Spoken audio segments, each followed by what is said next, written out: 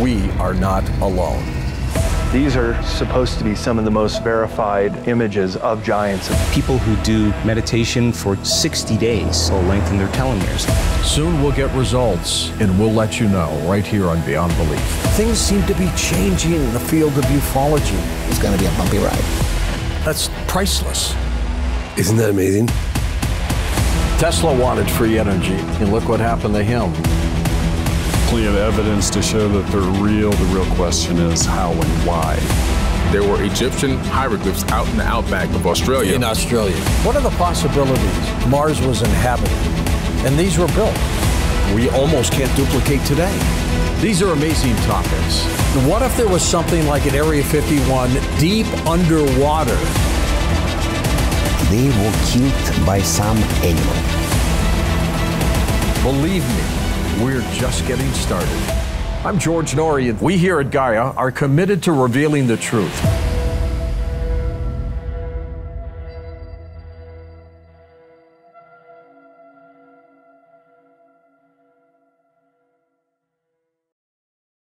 Timothy Good has conducted worldwide research on the UFO phenomenon, including interviewing key witnesses and discussing the subject with astronauts, military and intelligence specialists, pilots, politicians, scientists, has lectured at universities, schools, at many organizations, and has even been invited for discussions at the Pentagon in 1998 and at the headquarters of the French Air Force in 2002.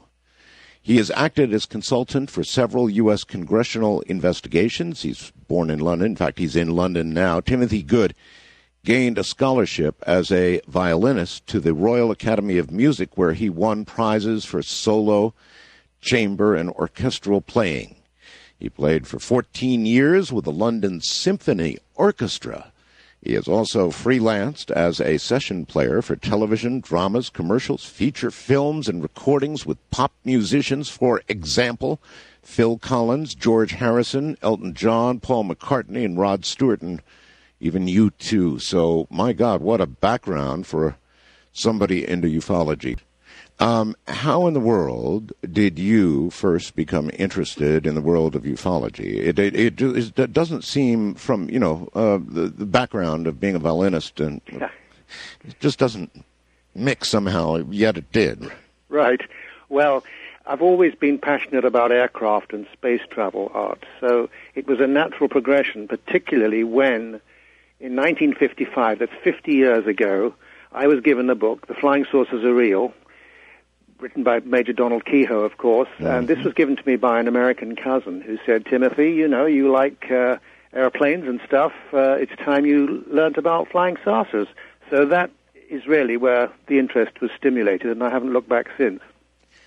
All right. In America, around the world, uh, we have had many very, very credible sightings uh, by pilots. Exactly. How, how many, roughly? Well, according to uh, Dr. Dick Haines, Richard Haines, who runs the um, National, you know, the Reporting Center for, for uh, Anomalous um, Phenomena, NARCAP, um, he thinks there's been about 3,400, and that might have increased by now, uh, since 1920. That's a lot.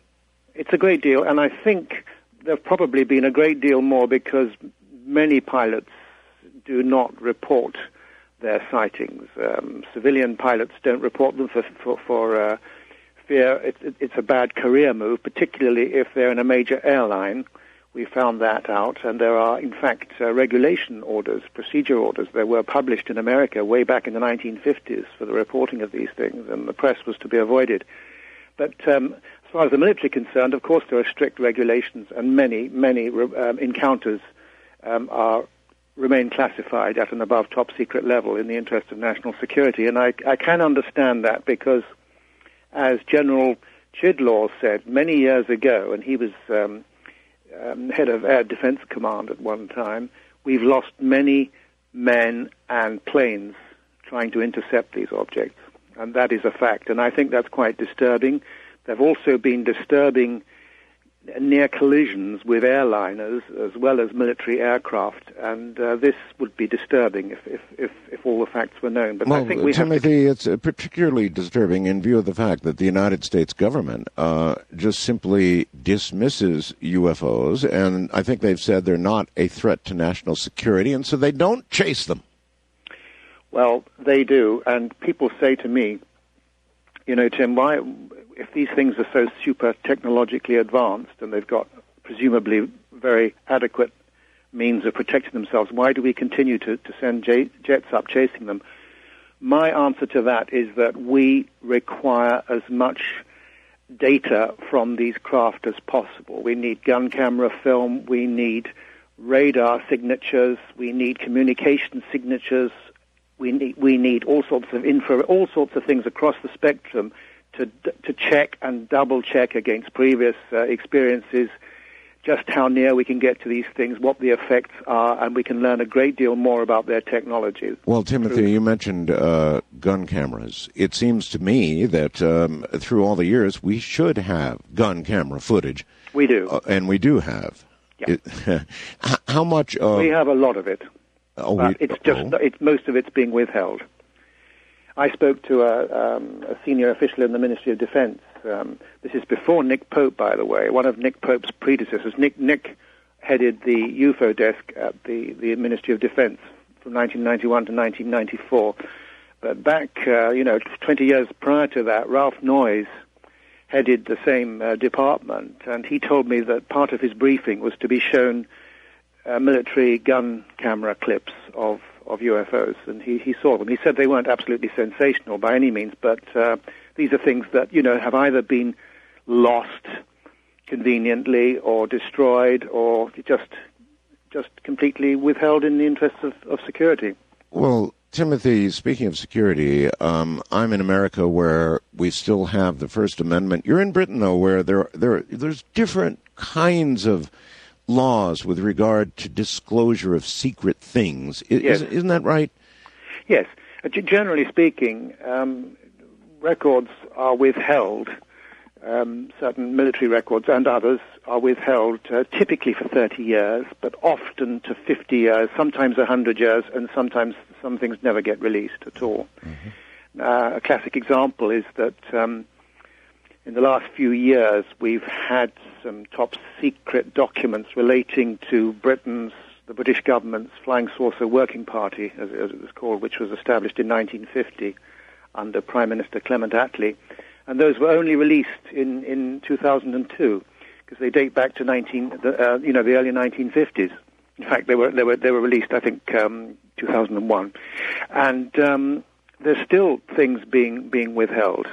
And we do now have a Freedom of Information Act. Now, you've had one for some, what, 35 years? Long time, yes. I guess.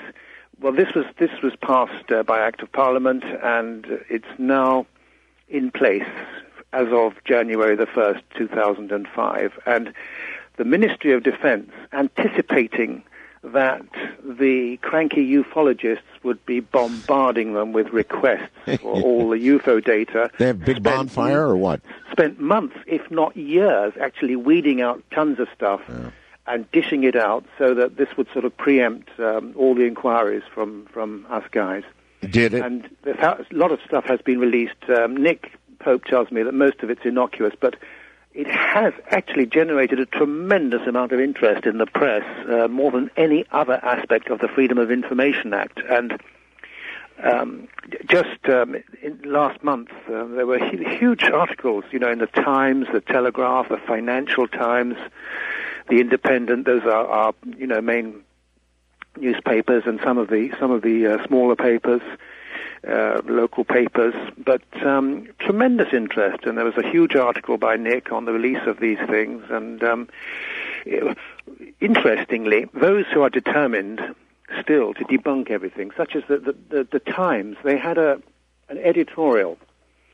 First of all, there was an article in the Times which ignored all the really good reports by, you know, RAF people, um, the good reports, impressive reports by pilots and um, other military officers, which really are quite startling cases. It, it ignored those and concentrated on the lights in the sky and the balloons and the kites and said how Britain's X-Files said that UFOs were just a waste of time. That was the headline.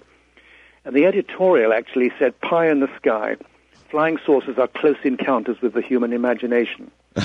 well, I really, you know, that really got me going, and I fired off an email to the Times edit- editorial, but it was never published, of course. Oh, really? Mm-hmm. Um, so it's, it's, a lot of a lot of interest, and and in, and in and in as I say, in the UFO aspect of the Freedom of Information Act more than more than anything else. Do you think that the United States government and your government are hand in hand on the whole UFO thing? Up to up to a point, Art. Uh, what I think happened is that since the late 1940s, the CIA came across to Britain and chatted with uh, intelligence counterparts over here, um, Air Force people as well, and they they I think suggested that we play down the really good sightings. I'm yes. sure of this because the Flying Saucer Working Party seems to have had a remit to debunk especially the best sightings, like in 1950 um, in August 1950, there was a sighting, a low-level sighting at the Farnborough air base where a lot of test pilots were based, and this thing came over at low level, an actual craft accompanied by hissing and crackling sounds. It was seen by one of their top pilots. Really? And uh, other personnel, and the thing was repeated at a further distance in the following, about three weeks later, seen by many test pilots. And the, those that were interviewed were told not to discuss it with anyone, not even among themselves. Hmm. And the whole thing was debunked, and you can see that in, in, in the reports where they say, you know, the poor chap, obviously, uh, he was just, they were just seeing conventional aircraft. I mean, you know, and they were absolutely outraged when these reports came out a few years ago. Well, that certainly sounds like the good old USA to me. Uh, Definitely, in my opinion. Why do you think, Timothy, that our mutual good friends, the French, appear to be uh, so much more open, uh, and they really do, about ufology? It, uh, I, why? Well, it's not that they don't have difficulties there. Believe me, they're, they're, um, I've spoken to, to officials, military and otherwise, there, and they are very concerned about ridicule, because you know even in even in the French um, uh, Ministry of Defense, there's, the there's sort of mixed views about the subject, and, and there's a need to know and all that sort of thing. So most people don't actually know what's going on, and they tend to ridicule those who take a serious interest in it. But um, they are more open. It's it's true. I mean, they they have this uh, group, SEPRA, is, is the acronym, and um, they still investigate cases. And, and, but the real work is still done behind the scenes, as in as in other countries. Um, so it's not not as if it's sort of total disclosure um, in France. Um, if you were to look around at the various countries of the world, including Brazil, Japan, I mean, just all around the world, uh, South Africa, what country do you think is the most open about UFO incidents? Well, in recent years, I would say uh, Russia. Russia? Yeah, there's a great deal of stuff has, has come out there from, you know, high-ranking generals have come forward. They've, they've appeared in several documentaries, including in, in um, the excellent um, Out of the Blue, and um, documentaries, other documentaries that I've been involved with. And uh, it's quite amazing some of these people have come forward. And uh, Gorbachev, as you know, has come out with several statements acknowledging that he discussed the extraterrestrial threat with President Reagan at the Geneva summit in 1985. Uh, as a theoretical question or or something beyond theoretical? I wish I knew.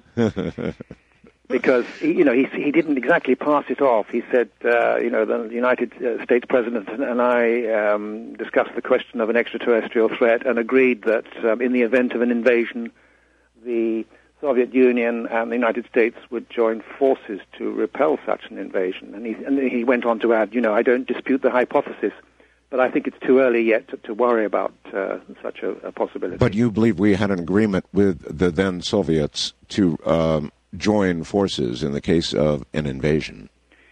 I think it's likely. Wow. That's pretty interesting. I, I know that uh, President Reagan, of course, made several statements alluding yes, alluding to the possibility that there could be others. There could even be a mutual threat. I recall his saying that and the shock it brought on when he did. Yes. Well, of course, his interest goes back to 1974, if not earlier, when he was governor of California, because he uh, there was a UFO sighting while he was flying in the governor's plane, and he ordered the pilot to chase it. Of course, they, they, you know, they couldn't get anywhere near it, but uh, it created a lot of excitement. And there was actually a Wall Street journalist on board the plane, and Reagan was all excited because I think he'd had a previous sighting, and he he talked about um, his his great interest in the subject and so forth. And I think in that uh, very important speech before the United Nations General Assembly in 1987, I think it was September 1987, he says, you know, um, I occasionally think how quickly our differences worldwide would vanish if we were facing an alien threat, and yet I ask, is not an alien force among us? And then he went on quickly to add, you know, what could be more alien, um, to, you know, than war and the threat of nuclear war and so on. But I think he was trying to tell us something. I'm absolutely convinced of it. Do you believe that a U.S. president or even Bri- a British prime minister can take office and on their first day um, tell their aide, look, um, here I am. I want everything on my desk that we know about UFOs, and I want it there in the morning. Can well, they, they do? Can, they can try. President Clinton tried. He didn't get anywhere fast, that's for sure. So I think, do you do you really know that? I mean, maybe uh, he did find out everything, and maybe that everything included, um, uh, you know, not informing the American people for the following reasons. That may be the case, Art. I, I honestly don't know. I suspect he was not told everything. Well, last Sunday we repeated a program I did with John Lear, who took me through what's called Lear test, and Mm-hmm. uh, he, he he went through this long litany of listen here, Art. Here are the things. Uh, could you tell the public the following? And he named off about 25 things that obviously you could never, ever tell the American public Right. and have a shred of credibility left. That's absolutely true. I, I, I, I, I wholeheartedly agree. I don't know all the reasons for the cover-up, Art, but I, I suspect that some of the reasons would be disturbing to the absolutely couldn't be re- released in mass. It just couldn't. It would upset the, the you know the whole world would go on tilt. Um, and so I've wondered a little bit over the years, and I've been doing this for a lot of years now, folks, whether I could actually be part of that process, an unwitting dupe, as it were, uh, trickling out information that the government wants trickled out. Of course, that would make it- many other people, including uh, the ABC television network, part of that process. Timothy, have you ever wondered if you were part of that process? Being, Oh, yes, you know, being used, yeah. In, in, in fact, um, I have the last chapter of my last book, and I'm going to send you my last book, Unearthly Disclosure Art. I don't know if you have it, but I'd, I'd I, I do not, and I would love it. And moreover, Right. if you could sign it, I would. Oh, lo- absolutely. All right. In the last chapter, which is entitled Resident Aliens, I disclose uh, information which has come to me via a high ranking source who worked at the Pentagon and the U.S. Air Force Air Staff and Joint Staff. Oh. And um, this information was given to a friend of mine, um, an ex Army intelligence guy, who's um, um, a journalist in the aerospace world. Between 1986 and 1989, he was given a great deal of information about what was actually going on, and I'm quite sure this was part of an official leak. How much Uh, of that? How much? Yes. How much of that can you relate here? Oh, there's, there's tons of it. I mean, what do you want to know about bases? I mean, I've been told, for example, aliens have been coming to Earth for a very long time. They've established permanent bases here in Australia, the Caribbean, Pacific Ocean, Soviet Union, and in the United States, and specific locations are given in some cases. Now, that's just for starters, but um, obviously there, there is an amount of disinformation, and the question is, how does one sort the wheat from the, from the chaff? How do um, you? there's a great deal of in, information. We've apparently, uh, some military and scientific elements in the intelligence community have established communication with ETs. There has been a transfer of their technology. We are working on it. Um, well, let's be clear on this, Timothy. I asked you the question about the president for a reason. You know, whether he could demand everything that we know about UFOs and get it. Of course, we can't know the answer to that, but I guess the bigger question is, Timothy, uh, is it your opinion that there's a group outside of elected government, government's knowledge, that uh, absolutely sort of a majestic 12 or, or its equivalent. Or, or its equivalent. But of course, what I was told that, uh, for example, a hundred, at least a hundred people in the in OSI, which is the Air Force Intelligence Office of Special Investigations, uh, there are at least a hundred people. I'm going back to again to 1986, 1989, because that's when this information was uh, given there were at least 100 people in OSI who had knowledge in varying degrees about the extraterrestrial presence and were actually dealing with it. When I was in the Pentagon in 1998, um, at the invitation of General Kenneth Israel, who was then director of the Defense Airborne Reconnaissance Office, as it was then called, they, they at that time handled the unmanned spy planes, the UAVs, unmanned aerial vehicles. Right. Um, he indicated to me that, in his opinion, this was this was more a policing task as opposed to national security, and he therefore suggested to me or hinted that OSI was much more likely to be in charge of, of the investigations. Oh, a policing task. That's that was his opinion. As in, make of that what you will. As in but, cleaning up uh, as in, you know, sanitizing some incident? Well, uh, OSI um, has all sorts of uh, tasks, you know, other other than some of the more obvious ones. I yes. mean, they're into counterintelligence, they're into investigations, they're into into um, problems with uh, people violating their national security oaths and things like that. So um, I think it's interesting from that point of view, but but um, I, I, I, was given a, a, great deal of information, really, and you'll learn that in that in that last chapter. And um, there are concerns about um, what the aliens are doing. It's not a question. I'm told of one species coming here. There are several, and more important, there appears to be a conflict of interest between between some of these uh, beings. All regarding right. regarding our planet. All right. Um, can you describe uh, the various m- motivations of these groups? Uh, if you if you understand that there are conflicts, then yeah. that would imply we understand something of the motivations.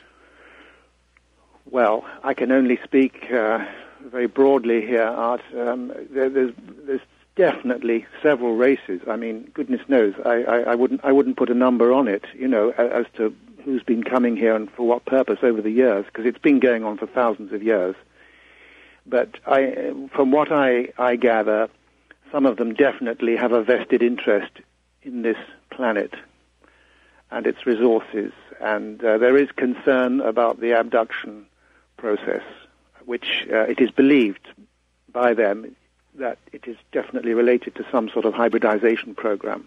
Um, now, Timothy, looking at that Sorry. Are, are, I'm sorry. Are, are, the resources of this planet um, uh, oil and metals and that sort of thing, or are they, or are they more likely the, uh, the, the human occupants of Earth? I, I, think more likely the human occupants. So they appear to need um, animal materials as well. Some of them. Um, I do think there could could be an interest in some of our, our, materials and minerals here. Some of them have suggested that. Some people who, who've established communication with humans have established that they that they need stuff here, mm. and um, there appear to be a number of very large undersea bases which are causing disturbances. Now, um, as it was put to me, you know, there's a distur- they're concerned that the fact that some of the aliens are, quote, messing around with tectonic plates in the Pacific Ocean. Now, that opens uh, all sorts of cans of worms. I think recent events yes. um, might suggest. I'm not su- suggesting for one moment that the tsunami had anything to do with aliens, but I'm just saying that apparently, according to this source, some aliens are messing around with tectonic plates and they have some large undersea bases. Now, why are they doing that? I don't know. Yes, Timothy, but a natural inference from that statement would be that there could be a connection between the tsunami and messing around with the Pacific's tectonic plates. There could be. There could be other, or, or they might even be messing around with the tectonic plates for their own purposes, to protect their bases or to protect the Earth. You know, that's that's the good news. I mean, there's always good news and bad news. It's like, uh, you know, whatever threat is posed by aliens, we have to look at, at, at the positive uh, side of things. The fact that they've shown their ability to paralyze our nuclear missile bases well, at, the you drop of a, at the drop of a hat. They have shown that too, haven't they? Yes. Uh, would you please explain to the audience a couple of incident, incidences where that occurred? This is pretty heavy stuff, folks. It's undeniable. I've seen specials on television about what you're about to hear about, and um, it seems undeniable. Timothy, how good is the evidence that this really happened, and what happened, and when? Well, there have been numerous witnesses who've come forward. Um, Robert Salas, for one. I, I, am, I haven't got the book to hand. I've just received a new book uh, by Robert Salas and, and another author about those extraordinary events, which is which is very impressive. You know, it, it, I really want to, to plug that book because I'm most impressed by, by what I've read of All it. right, but so the far. bottom line is, uh, if I recall correctly, the U.S. Uh, had a couple of missile uh, launch. They had intrusions. There have been numerous intrusions um, at nuclear missile sites in, in North Dakota, all, all, all over. I mean, Actually, they were disabled, I believe. they were disabled, yes, and it's happened in the Soviet Union too, in the former Soviet Union. And I, I, I'm recalling this TV special in which some uh, ICBMs in Russia actually went into a launch sequence. Is that true? I vaguely recall, I vaguely recall that art, but I can't, uh, I can't confirm that. Okay. Um, did the U.S. military capture an alien spacecraft before Roswell? Well, you know, um, last year I, and and continuing now, I'm, I've been investigating an extraordinary case reported. It goes back to August of 1945, when in San Antonio, not Texas, San Antonio, New Mexico, which is not that far from the White Sands uh, missile range. Right. Um, two boys um, encountered an apparent crashed craft, and uh, on their on one of the boys' father's ranches. Jose Padilla was the, was one of the boys, and it was his father's ranch. And the other witness was uh, Remigio Baca, Remy Baca. And I went out to meet them in June. At least I met Remy. I have not met uh, Jose yet, but we've been in, in communication. Um, it's an extraordinary story. Um, they were quite alarmed by the incident. They claimed to have seen a, a, large area where there was, there was can, in, in this canyon where this craft had come down and a gouge in the earth, uh, the size as long as a football field. It was vaguely circular, um, with a sort of type of fin on top, but nothing like an aircraft fin. They've made a model of it. I've seen it, and um, they headed back, worried about casualties and so forth, because they, they actually there was they'd seen when they got as close as they dared some sort of strange-looking creatures moving around inside it, like children. And uh, they had no hair on. They couldn't see much more detail than that. And they went back and told um, Padilla Senior, who told the police, and they all drove uh, toward the, the crash site two days later, but the wreckage was nowhere to be seen. But suddenly um, it reappeared. It, it, it had been, apparently, someone had made an attempt to cover it up with dirt and debris. And then uh, later on, the craft, I'm cutting a long story short here, the craft was apparently recovered. And the boys, at, at several stages, got a chance to witness these things from a, from a hidden area. And this thing was, was loaded onto a tall boy. And um, as I say, they were watching from this secluded position, and uh, soldiers were throwing bits down a crevice so they wouldn't have to carry them all the way down. It rings true in a way. Um, a lot of information forthcoming. One of the boy, the elder boy, Jose Padilla, Padilla at one stage, um, when the craft was unguarded, um, clambered inside um, a gouge in the o- in the opening, and on a sort of um, area there, he managed to extract a device. Now, I have seen that device and handled it and photographed it. Really? Um, the, the the unfortunate thing is, and it's uh, as I refer to as the fly in the ointment, is that it does look very, very conventional. It looks like some kind of bracket with space provisions for fasteners or screws or whatever. It's about 11 inches long. Um, it has been analysed, and it is it does appear to be conventional aluminium, aluminum. So that, that, that that's that's a problem. But on the other hand, um, you know, we have we have the testimony of, of these two witnesses, and they're absolutely adamant that this thing this thing did event. So what, there is this this contradiction which which I'm left with, and um, it is a stumbling block for me, I have to say. What about Roswell itself, Timothy? Uh, Roswell happened.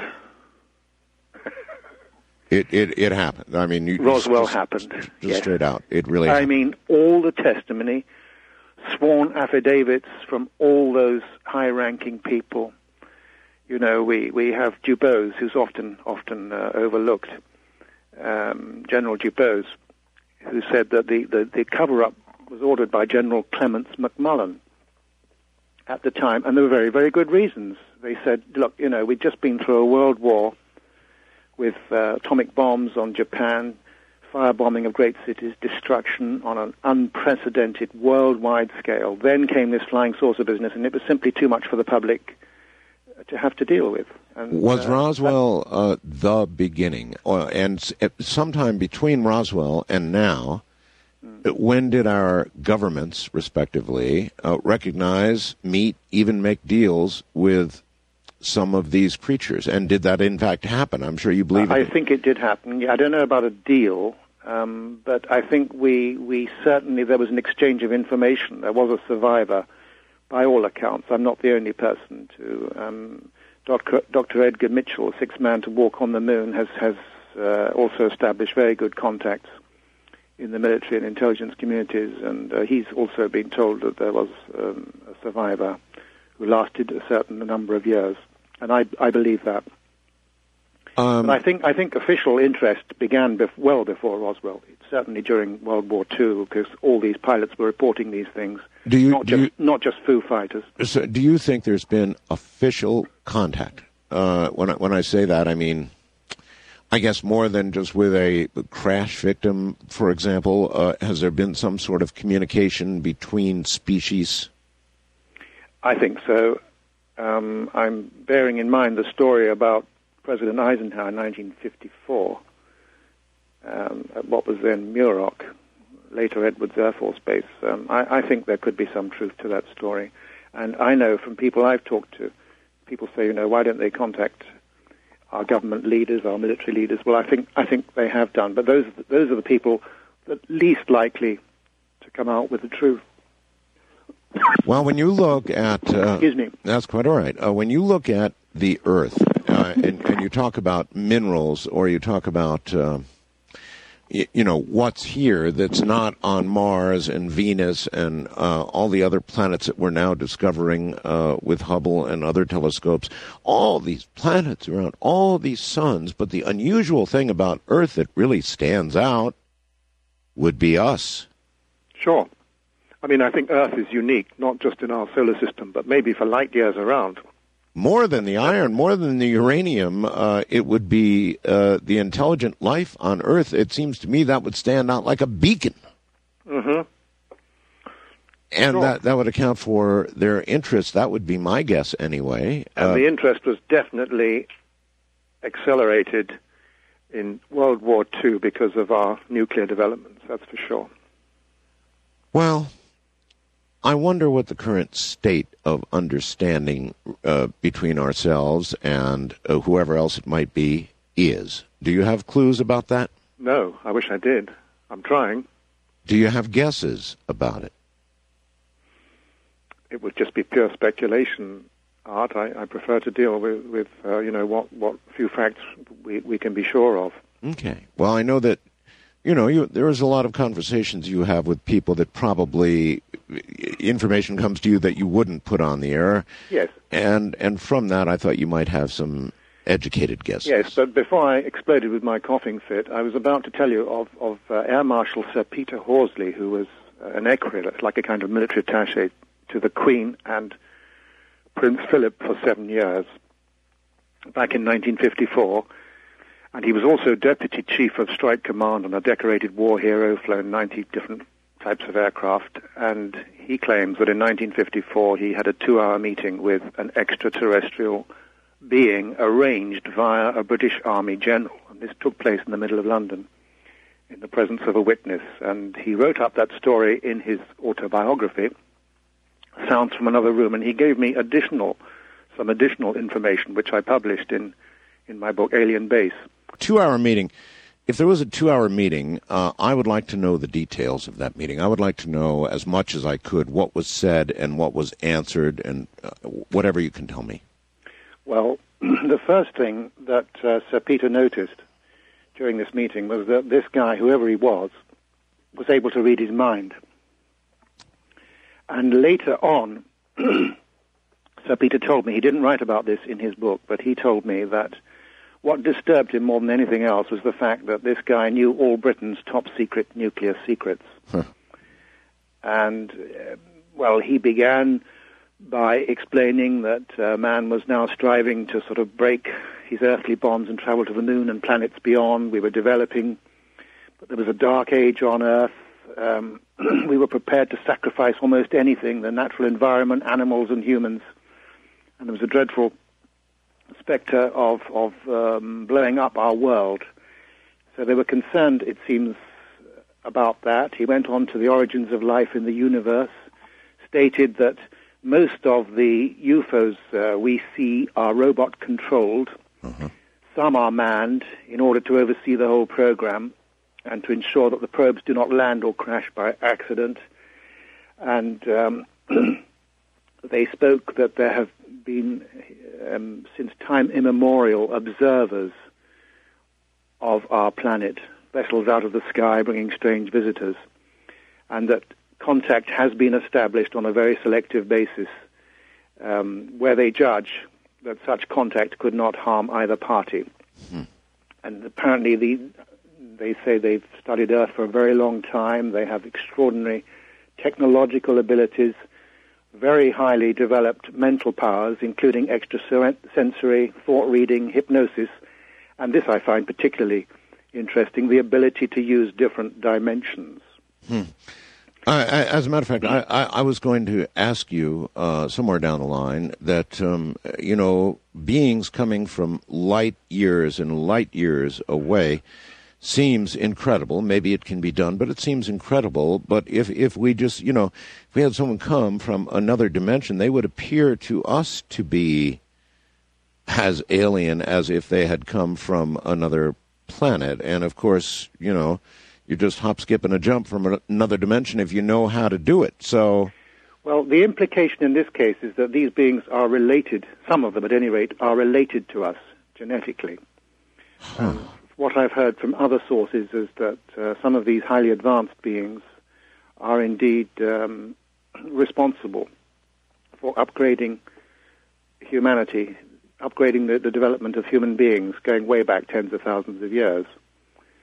Um, as to the dimensional aspect, I don't doubt that there are beings who exist solely in other dimensions, but the implication here is, is that this guy was, was quite physical, quite solid, but that their races are so advanced that they can manipulate dimensions. And I think this happens with their spacecraft.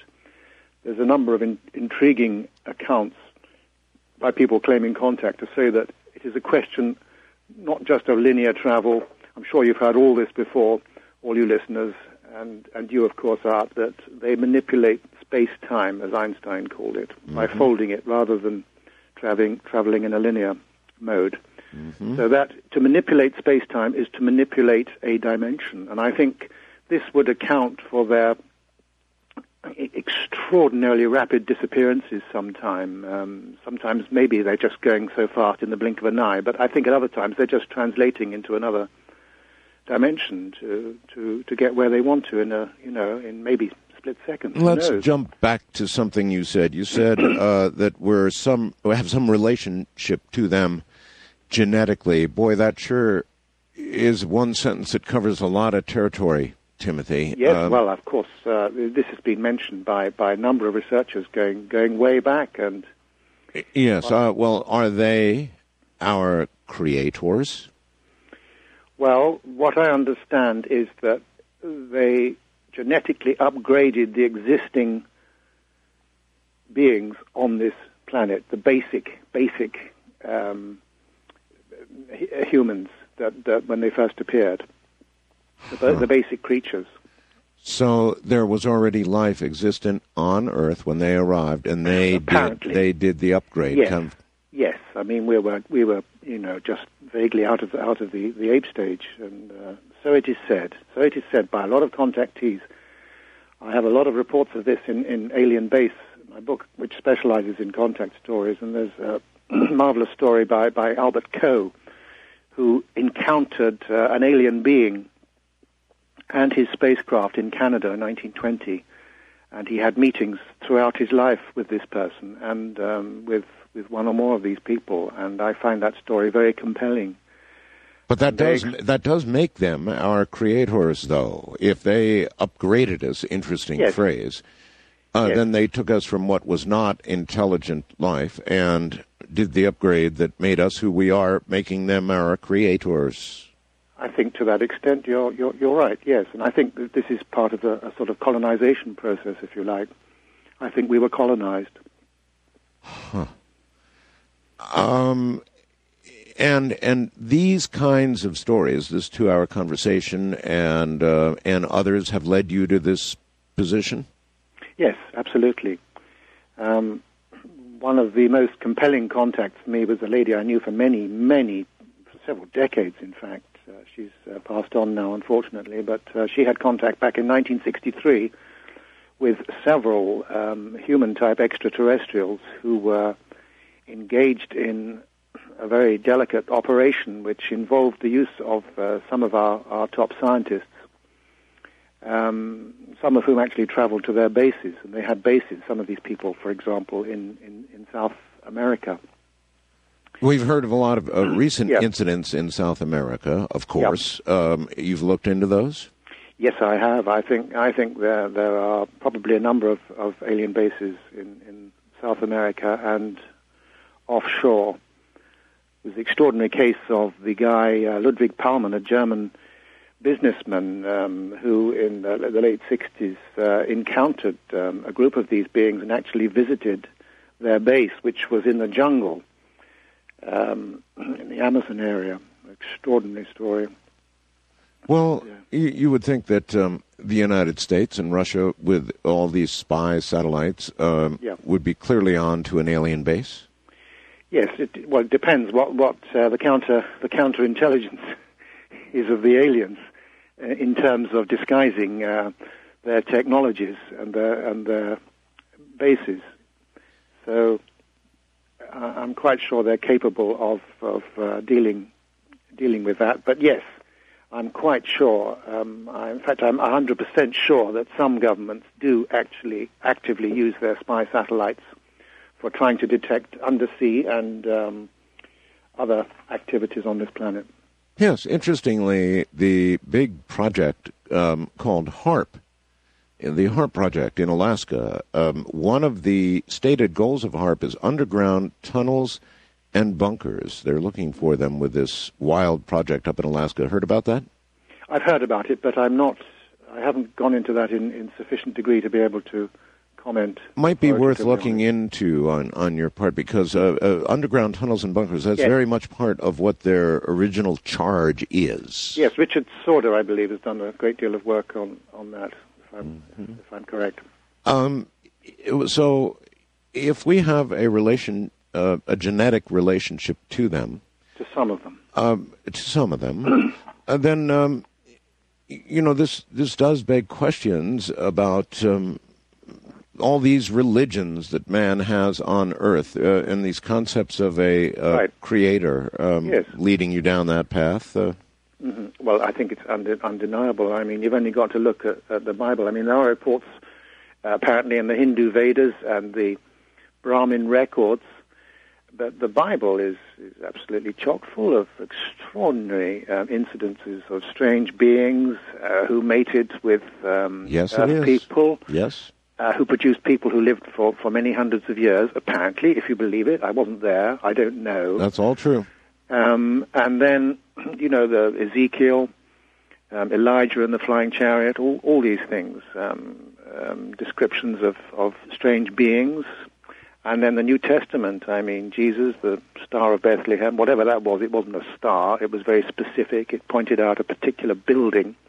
You have Jesus' phenomenal abilities, tele, tele, telepathy, telepathy, levitation, healing, um, and the, the resurrection, which uh, even the Catholic Church, I believe, acknowledges to be uh, a bodily, a physical resurrection, accompanied by shining beings, and then the reappearance to Paul on the road to Damascus. You remember that story, the dazzling light which yes, blinded the soldiers? They couldn't hear anything, but but um, Jesus spoke out of this blinding light in the sky, and so on and so forth. And I think the angel Gabriel might well have been maybe something to do with arti- artificial insemination would might explain the, the so-called immaculate conception. Well, uh, it has to be said that um, so many of the modern sightings and close contact sightings seem to involve reproduction, re- a study of reproduction, uh, reproductive yes. organs. Um, yes. When you get stories from people who have been abducted, sec frequent, very frequently. I, I, you know, I was really surprised, Timothy, at the amount of sexual content in abduction stories when you really get down to brass tacks yes. with abductees. Yes. It, it's yes. remarkable. Definitely. Any any guesses about what they're trying to do? Well, I think hybridization is the name of the game. The question is, is it for their benefit or ours? They often say abductees say, "Oh, you know, they were lovely beings." They said, "Oh, it's all just for us," you know. But all I'm, the time, all the time, Timothy. I think it's for their benefit, more likely. I spoke to uh, an abductee in, in Puerto Rico. Puerto Rico is a country I visited on, on seven occasions. And uh, I met a contactee there who claims to have been taken to an alien base within Puerto Rico and um, he saw many different types of craft in this giant cavern within the mountains. And they said, you know, nothing to be afraid of. Um, you know, this is something we want to help you out, and mm. and so forth. And um, they mentioned, I believe, the hybridization. And I asked this abductee what he thought the true purpose of this hybridization process was, and he, he was convinced it was for their own benefit to help them to adapt to this planet. Well, I've interviewed many, many abductees, and the vast majority of them, Timothy, say that these are uh, these are our friends. These are beneficial beings who want nothing but the very best for us. And their treatment while being abducted was absolutely superb. Not a bad word to say mm-hmm. about them, Timothy, uh, but uh, to put it crudely, their minds have been screwed with. So I think so. I think so. So think so. Uh, you know there are a very few researchers in the United States. I don't know about Great Britain, but you sound like you might be one of them who aren't so absolutely sure these are warm, fuzzy creatures with our best interests in mind. Right, right. Yeah. That would be you then. Yep. Uh, so if they don't have our best interests in mind, uh, what do you think their uh, agenda? agenda? Yes. I don't know, Art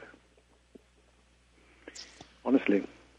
Yeah, well, that's of course all the big questions. Um, just sort of almost can't be answered. The who, the what, the where, the when. Uh, right. Uh, almost none of this can be answered now. It'll be interesting to see what sort of conclusion a large network investigation like ABC's will come up with. I can't um, wait. I've got little hints that they may be suggesting at the end of it all uh, and this is just guesstimates from the internet, folks, that uh, there needs to be a, a, more serious investigation into all of this. Yes. That it, it, simply has been laughed at too much, and there's some serious stuff at question here, oh. at issue. Yes. So well, hopefully. if that's all they do, at the very least, that, that is that is a great step forward. Um, while I remember it, Art, may I mention this book now? Please. About the 1967 missile incidents, particularly yeah. oh, um, at Malmstrom Air Force Base. It's called Faded Giant, and it's by Robert Salas, S-A-L-A-S, and James Klotz, K-L-O-T-Z, with a foreword by Raymond Fowler. Uh, it's privately published, um, and it is available from Arcturus Books. Signed copies are available from Arcturus Books, and I'll give you the email there. It's rgirard, that's R-G-I-R-A-R-D 321 at AOL.com. Mm-hmm. And um, it's a very good book. They've got a lot of documents and uh, case um, reports.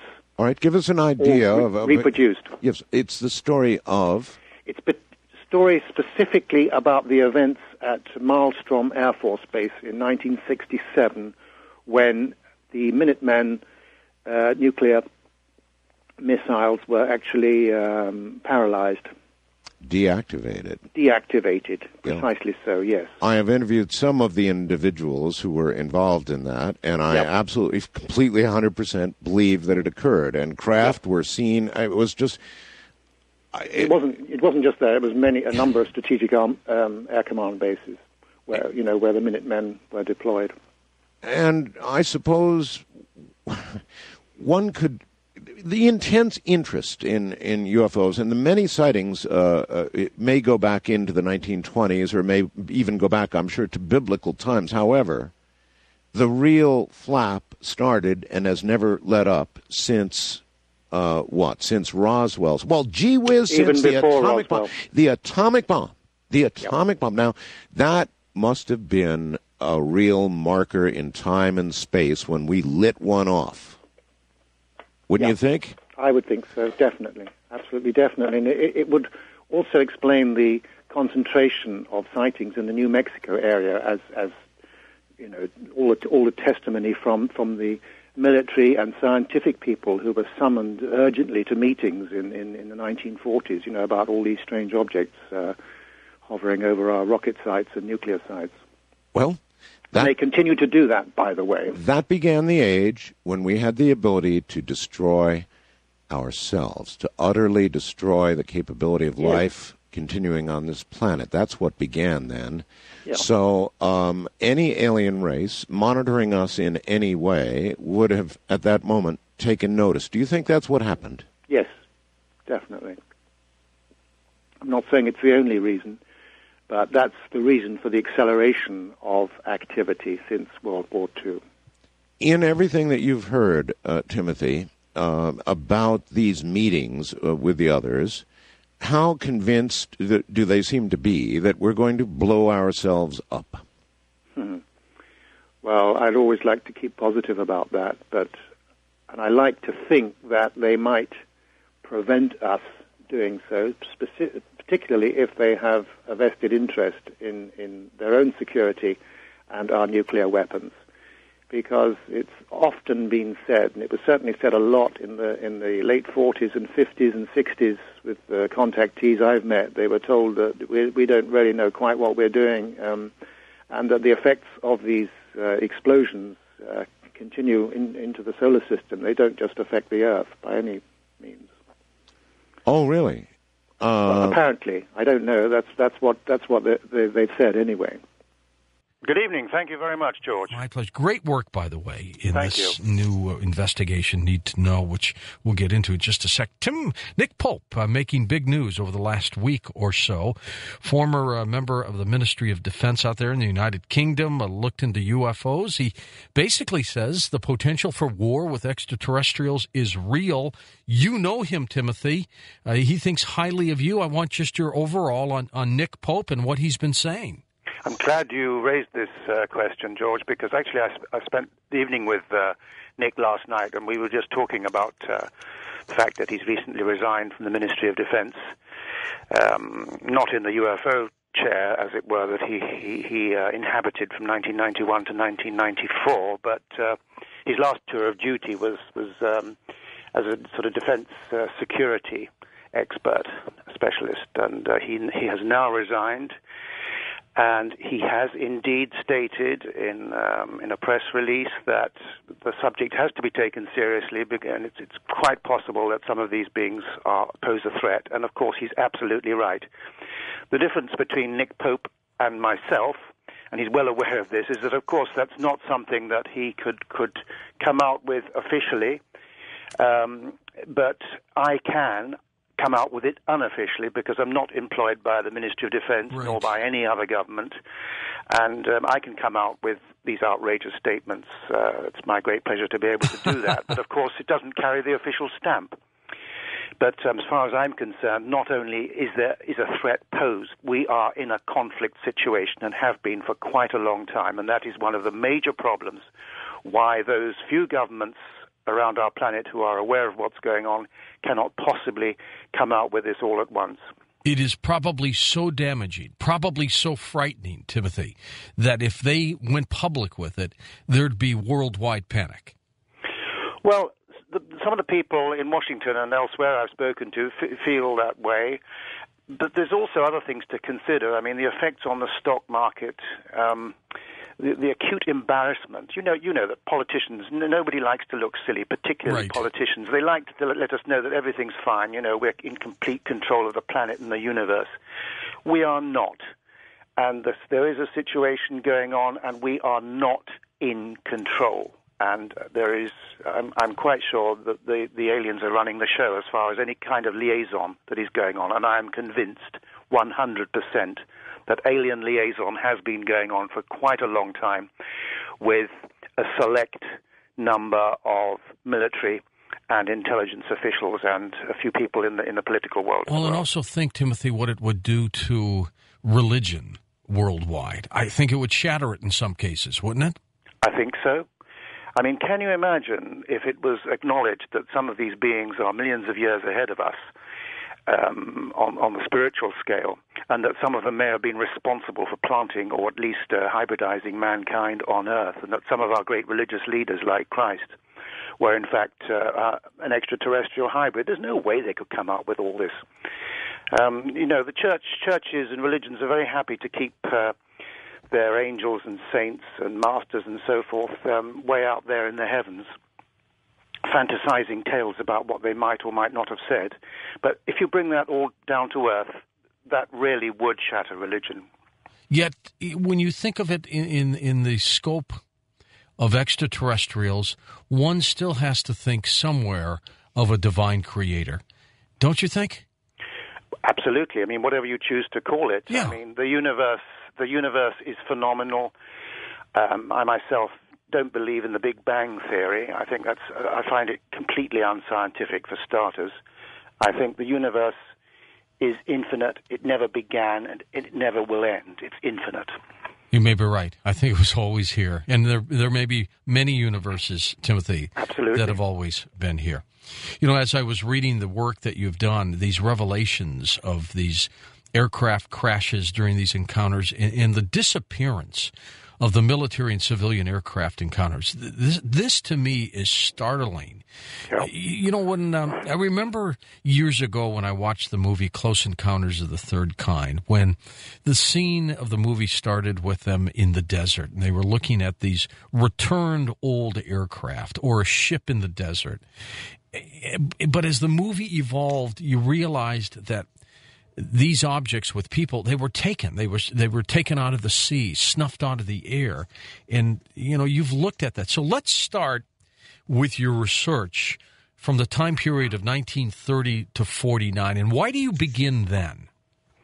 Because the the early 1930s were the first uh, really events that led to official research by the military into into the subject. Uh, down in Australia, for example, Royal, Royal Australian Air Force uh, reported odd things going on. Um, aircraft and a few aircraft and boats were disappearing during the 1930s, particularly in the area known as the Bass Strait, which is Australia's Bermuda Triangle and right up to the late 1970s, you know, in, in 1978, when the young Fred Valentich disappeared with his Cessna aircraft uh, in that area Right. after officially reporting. The whole thing's on official on the official transcript. After officially reporting a metallic solid object circling above him. And um, there have been many such incidents. So it, it must have been known since the 1930s that something something pretty serious was going on. all right you you start with uh, uh, some work initiated by Mussolini of Italy. Tell me about that. Well, th- these uh, the, the story about Italy is that, um, according to Roberto Pinotti and Alfredo Lissoni, who've written a very good, very good book on this um, aspect of the phenomenon, um, official secret research started in the 1930s in Italy following the sightings of unknown flying objects, which were chased in some cases by um, Italian Air Force planes. There was a reported crash of one of these objects, and there are many, many official documents which have been authenticated, uh, chemical tests and, and, and so forth. And these um, reports indicate just how seriously the subject was taken at that time. And Marconi, the great scientist, was uh, uh, one of the directors of this um, outfit, Special Research Group Number 33. And there are papers relating to that, secret papers, and highly confid- I've re- reproduced a highly confidential report, um, courtesy of uh, Pinotti and Lissoni. And it's just clear that these were probably the first official um, attempts at, at solving the phenomenon and the first official government research. In Italy, also in, in Scandinavia, in Sweden, they were very concerned in the 1930s, and in parts of Britain and certainly in the United States, officials were concerned by so called mystery aircraft at that time. Now, in this particular case in Italy, there was also a report of a uh, unknown craft that apparently had landed. Yes, landed or crash landed. Um, I forget the exact area. I haven't I haven't got details in front of me, Yeah. but um, there there is a report of it. I have reproduced the actual doc, the, the original Italian uh, document relating, highly confidential document relating to that incident. Now, during this period, as we're getting into World War II, um, are they seeing, um, are pilots seeing craft flying all over the place? Uh, you know, Royal Air Force, uh, the French, are they all seeing something? Absolutely. I mean, we talk about the Foo Fighters, but in a way, this is a misnomer. Sure, there were numerous sightings of luminous, often spherical shaped objects which pursued and, and buzzed aircraft during bombing missions and sometimes caused engines uh, of bombers to cut out. But there were also sightings of sometimes quite large objects, and um, I've included for the first time a remarkable case uh, reported by the crew of a Lancaster over France of an object which is which absolutely dwarfed the uh, four-engine Lanca- Lancaster bomber, absolutely giant object. And there's also official report that was secret from the British um, Ministry of Defence or the Air Ministry, as it was then known, about um, another incident reported by the crew of a Lancaster bomber uh, regarding uh, sightings, um, one of which was, was quite a large object traveling at a very, very high rate of speed, seen by the entire crew. And what's so amazing about these reports, there's no way other nations, the Germans, anyone else would have had that kind of technology. Well, I'm glad you raised that, George, because often you get documentaries saying that the Germans really were responsible for UFOs. Had that been so, they would have won the war. They did not win the war, as we all know, and it is quite possible, indeed it's known, that the Germans were experimenting with disc shaped aircraft, but that's a far cry from saying they were responsible for the Foo Fighter sightings. Absolutely daft, because Foo Fighters were seen in, in the Pacific theater of operations, they were seen in China, they were seen um, in the United States, they were seen in Soviet Union, and of course um, in Europe, particularly over, over Germany and France. Were, were there uh, cases during this time period, uh, Timothy 30 to 1949, where there were military encounters where pilots, uh, you know, attempted to shoot down craft or something happened to uh, military craft? Well, yes. Well, the first time, uh, as far as far as I know, was the officially acknowledged occasion, um, well known. I won't go into this in detail. Everyone knows it, I think, who's interested in the subject. But in February 1942, when 1,430 rounds of um, anti-aircraft ammunition were fired at unknown objects over the Culver City area of Los Angeles. Right. And this, there's a photograph of the event. There's an official uh, declassified secret document confirmed by George Marshall that these things really happened. There is a rumor that something something was brought down. Whether that something that was brought down was an American plane sent up, shot down accidentally, we do not know. But something was shot down. That's for sure. But as far as I know, the first instance when, when these things were shot at was in 1945, still just at the tail end of the war. And Mm-hmm. This was reported to me by a Free French Air Force pilot, Jean Kisling, who was flying uh, de- uh, with a detachment of, of um, the United States Army Air Forces um, at an Air Force base in Michigan near Detroit, and he was. th- th- There have been numerous cases of, of what they call uh, balloons. You know, the, the famous Fugo balloons were rife at that time. 1945, uh, they, they, they, they were, were drifted across the Pacific with uh, balloon bombs. Many of them uh, did not go off, but a few a few succeeded in doing so, and a few succeeded as, as getting far getting so far as, as, as, as Michigan. So it was assumed when these things were seen over this particular air force base, That has that Self- has to be Selfridge Air Force Base. Selfridge Field. Yep. Yeah, absolutely. And and the the base commander asked for a volunteer to send up someone to shoot these Japanese balloons down, and uh, a free French Air Force pilot, Jean Kisling, volunteered, and he went up in his P-47. And he he had to go very very high. He pushed the plane for all it was worth, beyond its uh, ser- service ceiling, uh, maximum altitude, and he managed to get one of these things, a spherical shaped object, in his gun sights, and he let rip with, with the eight machine guns on the P 47. And at that instant, the craft flipped on edge, so it became a very thin disk Uh-huh. on edge, and then shot away at right angles. And then, and then, uh, as he said to me, you know, at that time, Tim, I realized it was no balloon. So, oh my gosh, something was happening there. And also, you report that two years before Roswell, which occurred in 1947, there was another episode in New Mexico. Yes, this was reported by, by, by two witnesses um, who, who claim that in, in the village, actually, of San Antonito, and San, near San Antonio, New Mexico, um, there was the crash landing of an object. And uh, these two boys um, witnessed, witnessed this event, and I believe that they're writing a book about it. Um, I did investigate this case at some great length. I went made a special trip uh, to Seattle to interview uh, Remy Baca, one of the principal witnesses, who was a, a young boy at the time. Um, unfortunately, he suddenly refused um, to allow me to publish the case in at all. Actually, he claimed, Why? but unfortunately, I don't know. I think because he has his own agenda Maybe, okay. wants to do his own book, Sure, fine, but sure. uh, it let me down very badly. Uh, it let my publishers down because that was part of the thing. In any event, um, I have done a synopsis of the case, um, and that's on a public uh, matter of public record, Record, anyway. sure. And um, anyway, I, I, I was I was impressed um, by by that case, and this was, as you say, you know, two years before Roswell. Were there occupants in this particular case? There were. They saw they saw occupants. Yes, um, small occupants. They were observing from a distance this craft. Were, were Uh, they dead?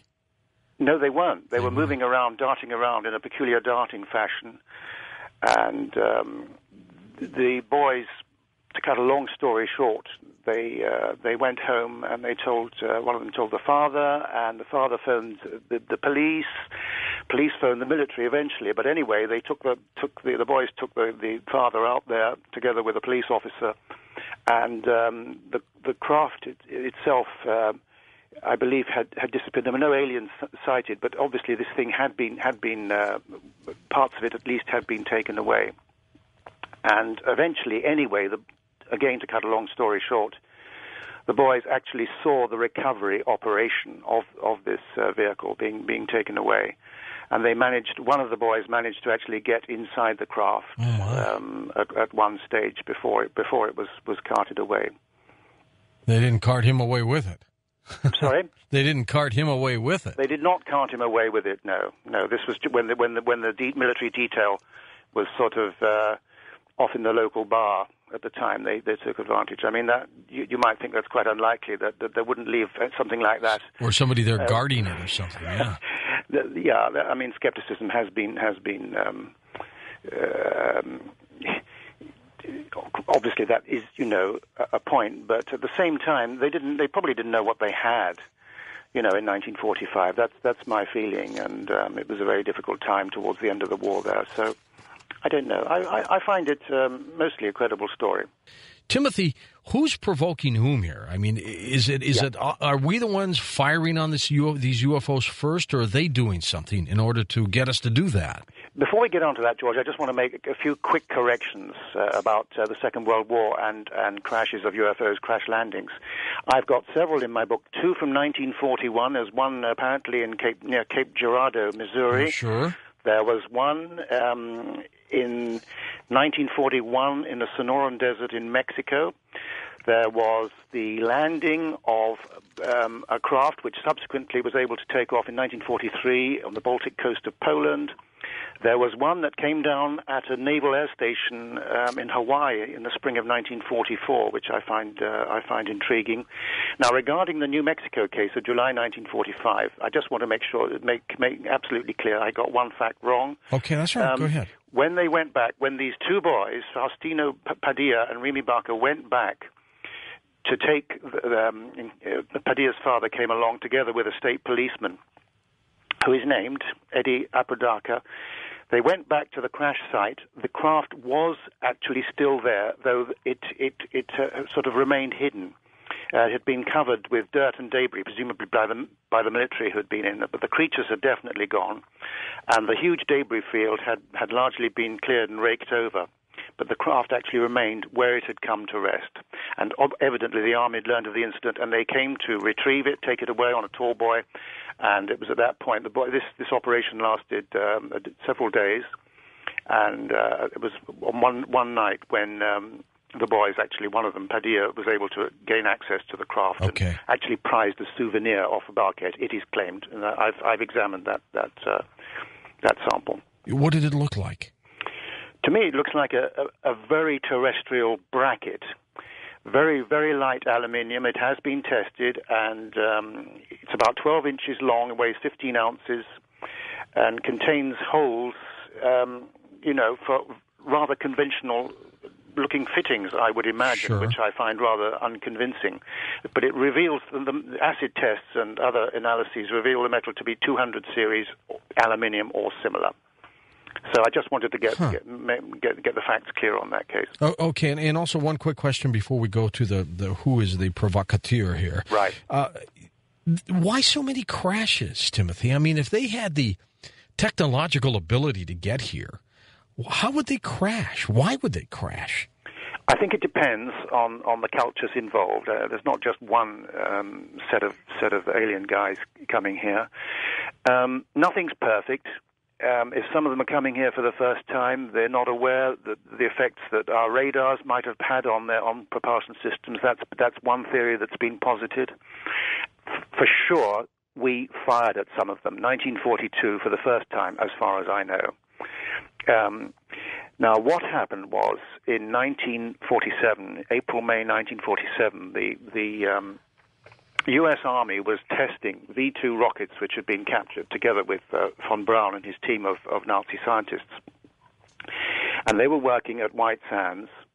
And now Linda has has, has dealt with this, Linda Howe. Right. And um, I spent a lot of time with uh, John Andy Kissner, a former state uh, representative for Las Cruces, New Mexico.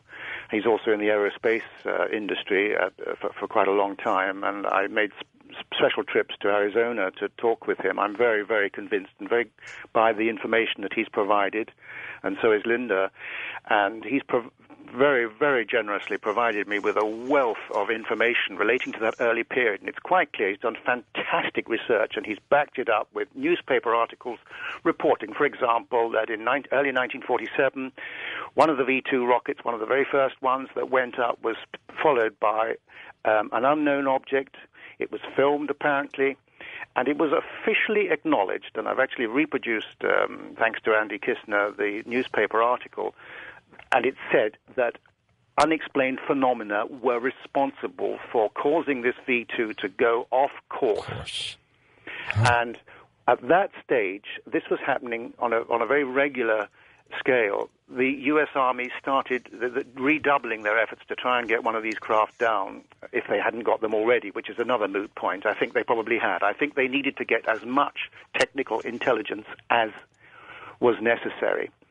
So they started firing at these things big time, and even using uh, proximity fuses. Um, very early gu- guided missiles were used to fire at these things, and apparently they succeeded in knocking several of these things down. And, and uh, the one or the two that came down in New Mexico in July of 1947 were among them. Apparently, they took several days to come down. People reported seeing objects fluttering, oscillating. Um, sailing around the skies as if as if they were in some kind of trouble, and then of course we have the famous Roswell story. But it might have happened even earlier than that. I so want- we started we started firing at them, and then all hell let loose when thousands of air crashes started uh, being reported worldwide, not just military, but civilian. And the newspaper articles I've reproduced in the book, New York Times and other articles, Truman ordered an urgent inquiry. Even in the same week, there were hundreds of planes crashing all over the world, sometimes on the same day. And in most instances, they were completely unexplained. The official explanation was that the planes were running out of fuel. You know, okay. All of them? like, you know, like five minutes after takeoff. And many cases, uh, of course, there's a ludicrous explanation. The other thing is that a lot of these aircraft um, were unable to get off the ground. Um, it, it, it's, it's called unsticking in the in, in the business. They they could not unstick, and they just just crashed at the end of the runway and exploded. And um, this went on for for for months, and uh, thousands of people lost their lives. I've uh, and regarding this was, I, I think that can only be regarded as some kind of retaliation. Now, again, Massive. Can- sorry? Massive retaliation. Yes. Now, again, I mean, especially if you consider that, that you know airliners are involved here. I mean, how can any government on Earth, especially at that time in the Cold War and everything, admit that these sort of things are going on? So that's another reason for the cover-up.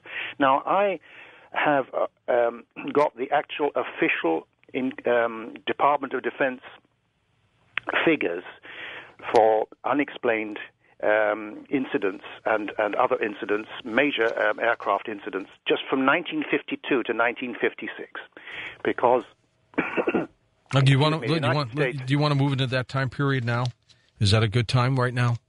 Um, I think so. While Okay. I while I have the figures in front of me, um, from 1952 to 1956, there were um, something like 18,662 crashes of just United States Air Force and Navy interceptors alone. All right, those are the types of planes that would be involved in in pursuing UFOs. All right, so it's very interesting that of those of those fatal crashes, um, about something like 9.5 percent were completely unexplained. That's a very high percentage. Sure is.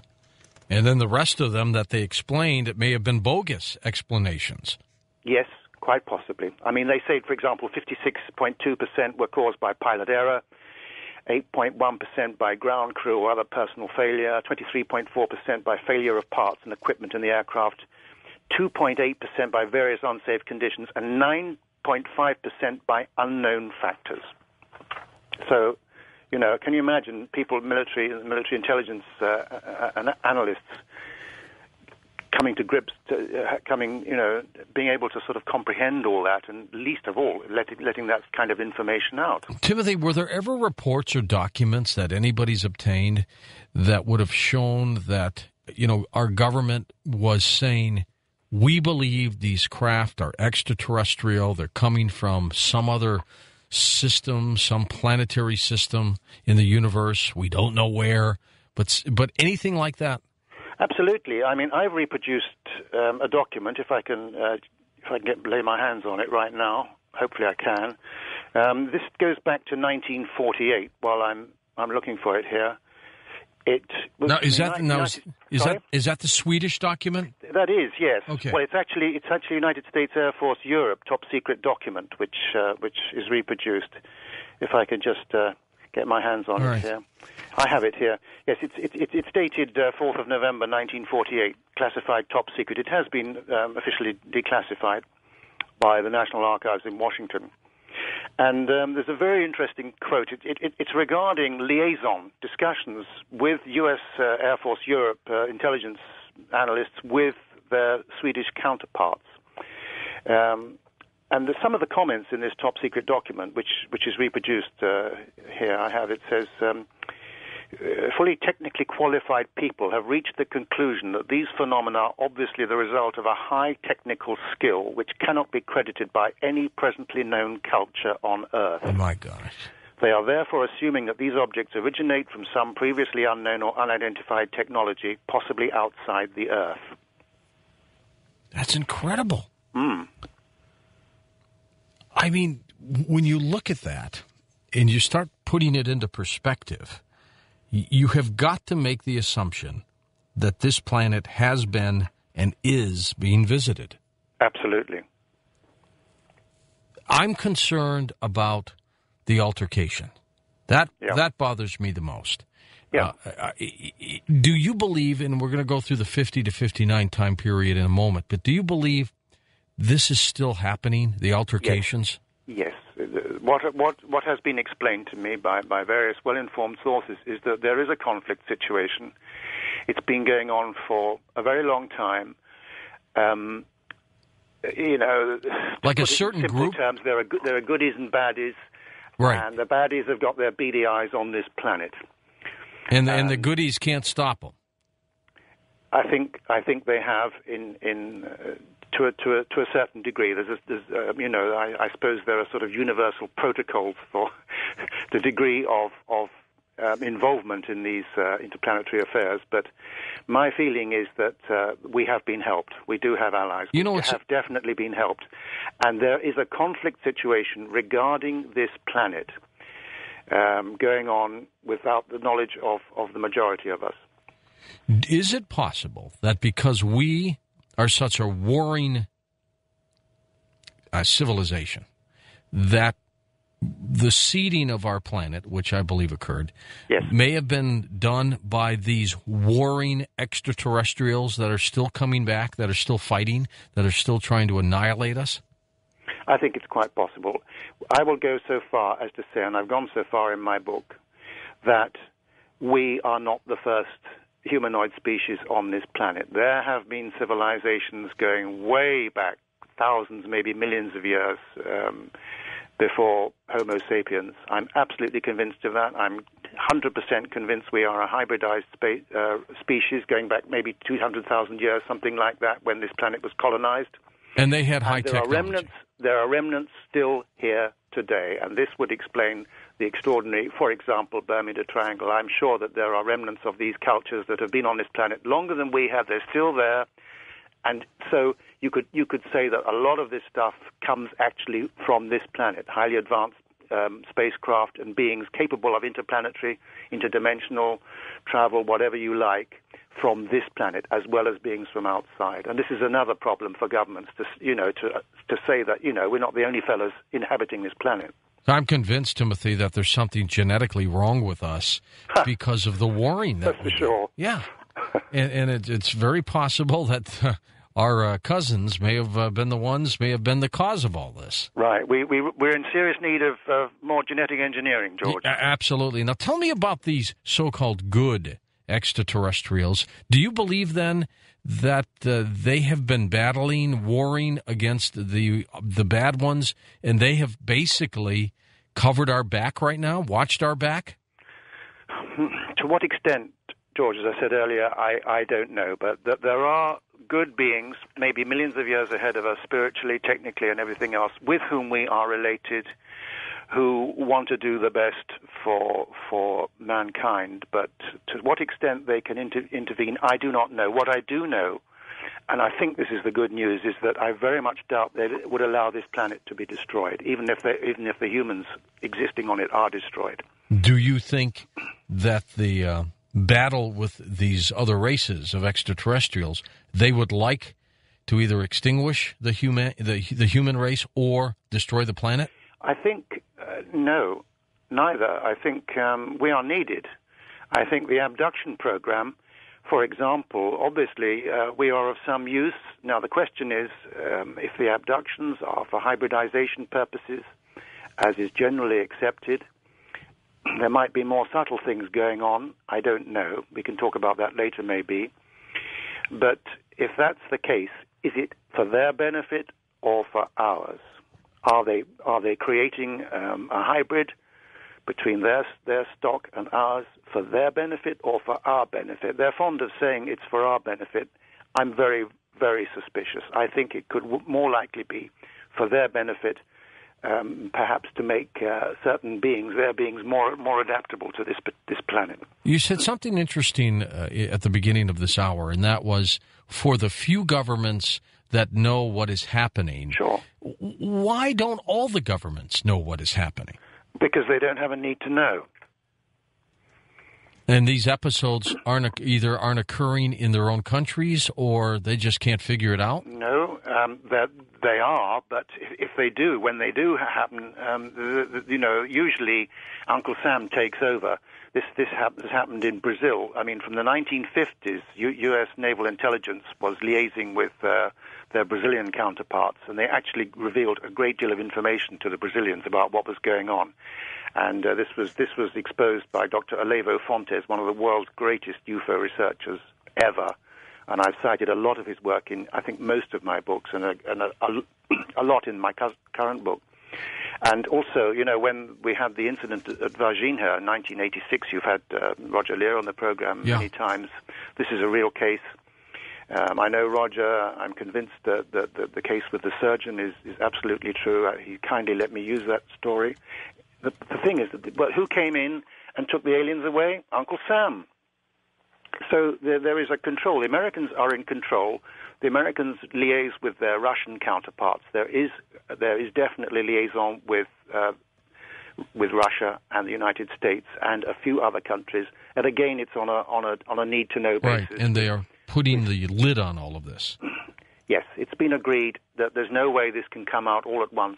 And what I've been told, I mean, um, one of my, my friends in Washington, I said once, this was about five years ago, I said, now come on, you know, you must know I've been interested since I was a boy, 1955. How much longer do we have to wait before some kind of official disclosure? And he looked at me and smiled and he said, stay healthy.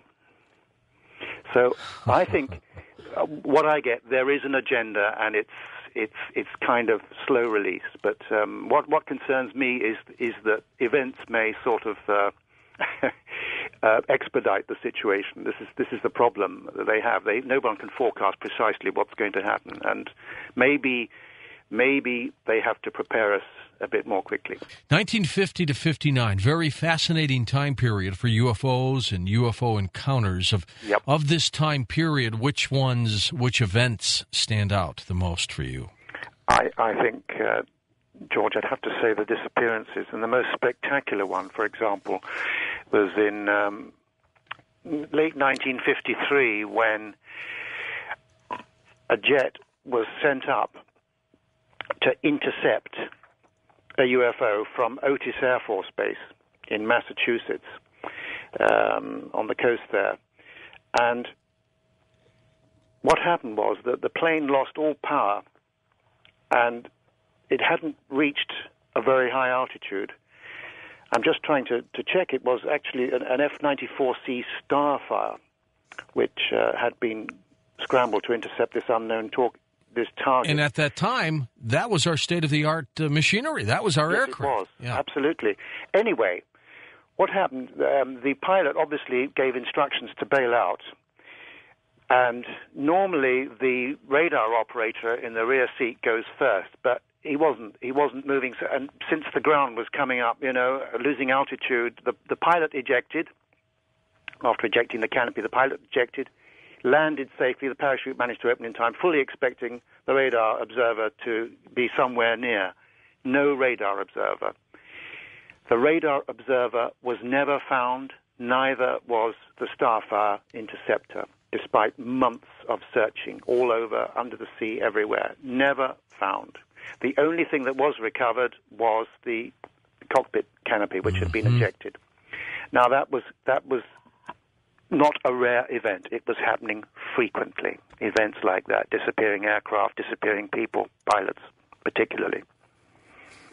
My gosh. I mean, it just it just makes you scratch your head, Timothy. Yeah, These- and again, how can governments come out with this? You know, I mean, just it's not as if people have, have recovered from the fear of of, of terrorists. Uh, crashing our airliners and planes, you know. Um, but to admit that, you know, there's there's there's a possibility of a threat from from elsewhere relating to the aviation uh, industry is is just it, you know it, it, couldn't it can't be done. This time period, 50 to 59, uh, around 51, 52 period. Was that incredible UFO flap over the White House, and we couldn't do anything about it. No, and I think I think to this day a lot hasn't come out about that. I mean, some of the they talk about sort of ephemeral objects darting about, sometimes on radar, sometimes not, but perfectly solid objects were seen sometimes at very low altitude, even at low altitude over over DC at that time, as I as I reported in the book. Uh, let's see who would have been the U.S. Uh, it would have been. Uh... Eisenhower, right? General Eisenhower, yes. Yeah, would have been Eisenhower. I wonder what he said about all this. Well, um, there's not a lot on record that he's actually stated about the subject, no, no, to, the, to, but, to, the best of my knowledge. Yet there are reports, I mean, incredible reports, that he met with extraterrestrials at Edwards yes. Air Force Base in California, right? In 1954, absolutely. I'm, I'm convinced that meeting took place, and we now have evidence that uh, more people, you know, were actually attending there, and there's there's sort of additional testimony from some of these people. This took place at the top secret Muroc, it was called at that time, Muroc Air Force Base in February of 1954 it's, it's sort of take, take us to your leader syndrome, you know. And uh, Eisenhower was taken. It was an officially arranged meeting. There were at least one craft landed at the base, supposedly, and um, um, there were other officials with Eisenhower at the time. I wonder how in the heck they communicated. Well, they, they spoke in English apparently, and they also demonstrated their telepathic abilities and their ability to make themselves and their craft invisible, which caused Eisenhower considerable embarrassment. I would guess so. was was was this a demand meeting? Do you think? Uh, I mean, what do you think they talked about specifically? Well, um, well, it, it is alleged. I'll just give you the name of some of the people that were allegedly there. Franklin Allen of the Hearst news, newspapers, Cardinal James McIntyre, Bishop and head of the Catholic Church in L.A., Edwin Nourse of the Brookings Institution, who had been President Truman's fin- financial advisor, and other people. Uh, and I guess these people are all dead now, aren't they? Um, yes, and uh, other people um, have uh, have subsequently come forward, and I've, I've named some of them in the book. But uh, allegedly, um, it was they were just one of the things that was discussed was that um, they wanted to set up a, a, kind of education program for the people on Earth uh, in order to make mankind more aware of their presence here. And, and, and un- Eisenhower was unnerved by this and reportedly indicated to them that he kind of didn't think the world was ready and that such a revelation would create a very difficult situation for everybody. And according to a test pilot who was present at this meeting, the aliens further um, seemed to understand um, Eisenhower's position. And they indicated that they would continue to make further isolated contacts with humans, but they abandoned the idea of, of a sort of mass landing or, or, or exposure. Which is what they would have preferred to have done. Yes. And I, I think so. Oh, but God. now no, there's an, um, a, a, another significant alien encounter in the same year reported by Air Marshal Sir Peter Horsley, who is a former pilot, uh, flew, flew uh, many of our great great fighter and bomber aircraft. He, would also been deputy commander of Strike Command with his, figure, with his finger on the nuclear trigger, as they say, and he, he spent seven years serving the Queen and Prince Philip, Duke of Edinburgh, as an equerry. That's that's kind of like a sort of military attaché.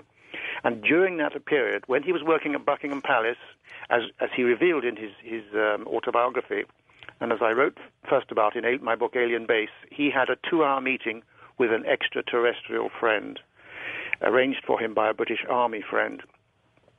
Um, in the middle of London, which he found very disturbing indeed, particularly since this this alien could read all his thoughts. And a great deal of information was exchanged during that, that meeting.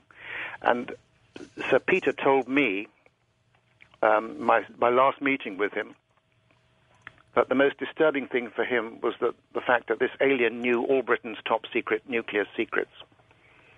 So it was ever, made quite evident that this was this was a major point of concern. Our, our developments in that area. Did they explain what these creatures look like? Well, these were very, very similar to human beings. I mean, as far as uh, this this guy in London, um, he was he was just described as as absolutely um, human. He could easily pass for for um, an Earth creature. Which means we may have been, you know, seeded from them. Oh, absolutely, in yeah. my opinion. Sure. And this has probably, Timothy, been going on for thousands of years. These encounters. I think, I, or maybe more, who knows. You write, and this is a fascinating one, about a photo reconnaissance flight near North Dakota yes. with a uh, huge B 36 bomber. Tell us about that case a little bit. This, yes, is, this one's incredible. Yeah, in, in, this was, um, I think, in, I don't have the, the, facts in front of me, but in 1956, a B 36 Peacemaker bomber capable of, of uh, holding nuclear weapons was approached by a 100 foot diameter disc, which was seen by the entire crew, 17 man crew, and a, and a relief crew as well. And it, I think, if, if memory, I, I, I wish to heavens I had photographic memory, I could sort of fish around the pages and everything, but I think it was there for something like eight or ten minutes, during which time it was filmed or photographed with cameras, Hane cameras, specially issued by Project Blue Book in the event of such occurrences. Oh and when God. the aircraft landed, um, all the all the cameras were were confiscated. So these photos are somewhere. Oh gosh, yes. We have photographs. I mean, look at look at the instance following year, 1957, when Gordon Cooper was flight test director at uh, top secret Edwards Air Force Base, which used to be called Muroc in California, when a craft actually landed and was filmed by his Gordon Cooper's camera crew. Um, extraordinary story, great, great detail. Cooper himself just had a, a brief look at uh, some of the frames from the movie film all sorts of film, uh, still film and movie film was used. Very, very clear pictures of this craft. It extended landing gear, and then it took off everything on film. It was sent back by special pouch to Washington. And uh, Gordon Cooper was told, um, you know, not to not to actually look at the whole film, but he, but no one told. I mean, he did see some of the frames of it, that's for sure, but he didn't see a projected version of it. I remember talking to him when I was in St. Louis, and he was describing his encounter with uh, his. Uh, he was flying uh, an F eighty six jet. Sabre jet. That's right. Yeah, this was at Neubiberg Air Force Base. Um, in in 1951 in, in Germany, in, right? In Germany, that's yeah. right. U.S. Air Forces Europe. Incredible story. I mean, and he was convinced what he saw yeah. were UFOs. Yeah, I mean, I've got I've got the word, the case in front of me now, and there was an alarm, and he said one day this this this was a regular occurrence, you know, sending up jets to to chase the the, the sources. He said uh, one day the alarm sounded, my squadron mates and I dashed from the ready room and scrambled skyward in our F-86s to intercept the bogies. Names were unknown. He was one of the uh, seven original astronauts, and he was not Absolutely. kidding. Yep. He said we reached our maximum ceiling of around 45,000 feet, and they were still way above us, traveling much faster. I could see they weren't balloons or MiGs or like any aircraft. They were metallic, silver, and saucer shaped. He says for the next two or three days, the saucers passed over the base daily, sometimes appearing in groups of four, other times as many as 16. They could outmaneuver us and outflank us seemingly at will. So these things were, were quite commonplace. This time period, 1950 to 59, uh, I also used to remember reading books and stories uh, later on in my, because I was born in 50, but later on yes. into the early 60s. Uh, Frank Edwards. Yeah. Great reporter. Oh, sure. Did a superb job at that time. It kind of reminds me of you, Timothy, in that, uh, you know, in terms of an evolution of the progression of UFOs and extraterrestrial investigations, he was one of the first. Absolutely. Um, my work was inspired initially by Donald Keyhoe, for whom I have enormous respect. Yes. Um, that's how I got interested back in 1955. Um, I still cite his work in great uh, in my books and that of Frank Edwards, for whom I had enormous admiration as well. Of this Donald Keyhoe. superb, superb journalist. Keyhoe at the time head up the National Investigations Committee on Aerial Phenomena. NICAP, that's right. in, yes, uh, until it was until it was infiltrated by the CIA. and, and disbanded eventually. Yes. Right? Yep, sure. I remember that. I, I mean, as a kid, I, I, you know, I joined as a little member, and I got my card from them, and yeah. it was based in Washington D.C. That I'll always remember. Yes, absolutely. Um, it was. I don't think any group in the world has ever succeeded um, as that one had done to, to get the subject across to the people, and with, with such fantastic support from, from military officers, retired and sometimes current. Um, yeah, amazing. They, they, had heavy hitters in that organization in Absolutely. those days. Absolutely, all sorts. So this this was a time period, I think, where UFO reports, sightings, and encounters might have been at their peak, fifty to fifty nine. What do you think? Yeah. Um, I I think so.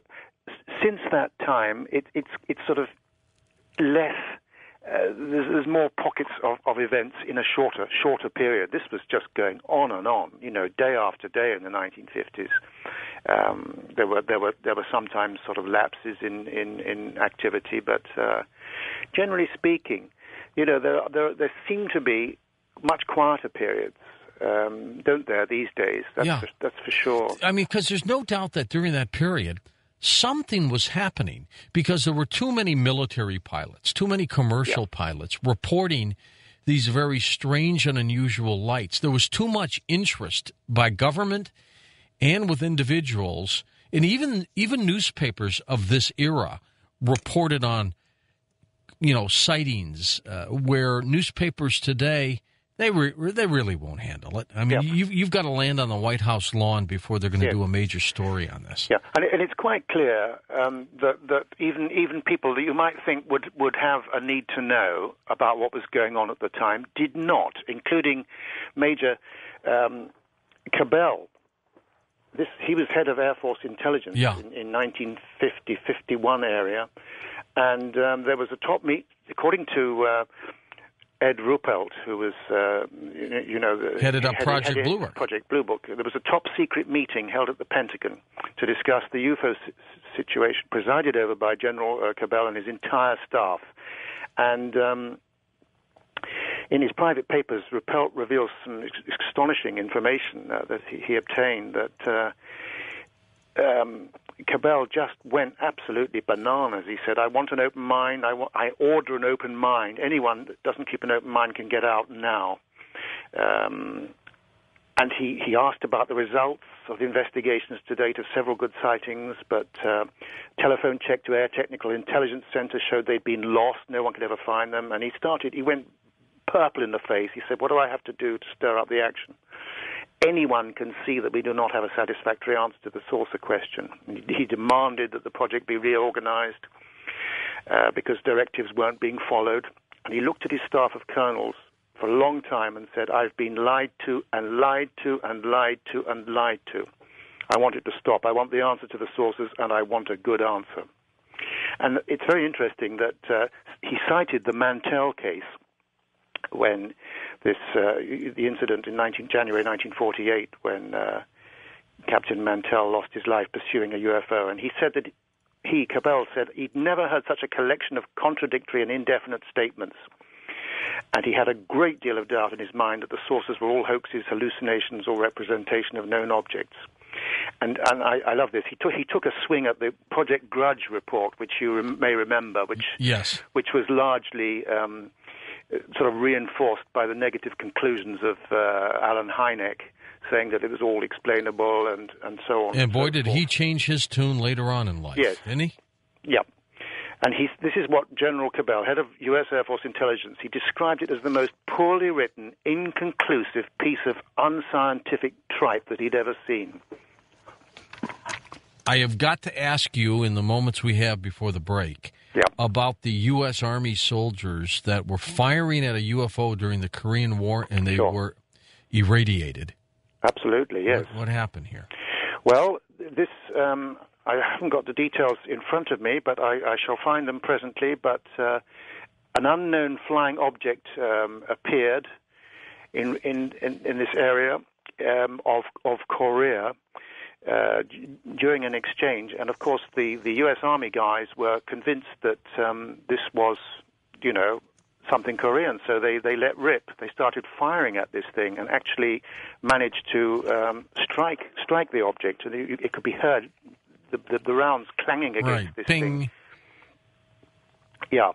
Um, I don't have the details in front of me. I wish I could, could find them, uh, George. But- But, but I- but- what, what happened was the upshot was that the craft uh, started behaving in a very erratic manner, and a beam of light came towards the soldiers. It irradiated them. They became very ill with what I can only describe as a type of radiation sickness, and um, they were they were debriefed about it, and some of them soldiers were taken away to hospital. A very serious incident. This time period now, from the '60s on, be, became very interesting, very fascinating in the in the UFO field.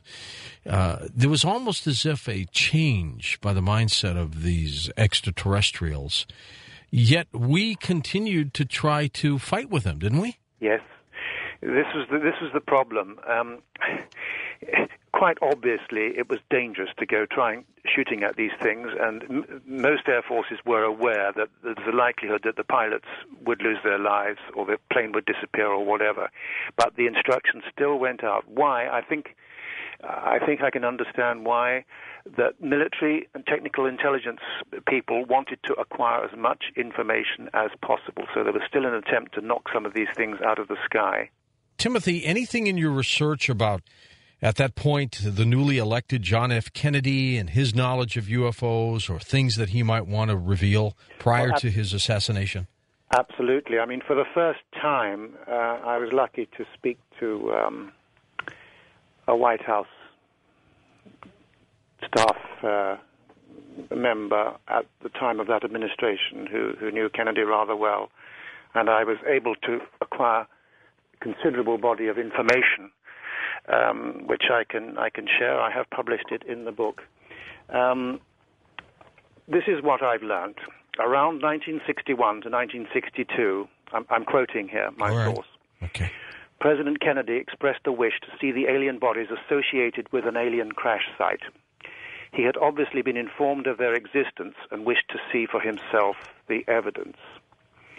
General McHugh was in charge of the arrangements at the time, and Air Force One was used to take Kennedy and other top brass on this visit. The purpose of the flight was closely guarded. However, the reason for Kennedy's flight became evident to senior personnel on board through unguarded comments and the whispering which went on. Remember that even the pilots were members of the White House staff, ex military, and trusted implicitly. Originally, the alien bodies were located at Patterson or Peterson Air Force Base and later moved to Tyndall Air Force Base, Florida, near Pensacola. These comments are from the horse's mouth, a person who was close to Kennedy at the time and a member of the White House staff. Since any alien evidence has been covered up for as long as rumor has existed, the United States authorities are unlikely to admit their complicity or make information available to you. There is clearly an international agreement in force between all governments to withhold information on alien and UFO phenomena. Well, that is uh, essentially the information I acquired and uh, subsequently learnt uh, just a little bit more as well, which uh, again I have I have published in the book.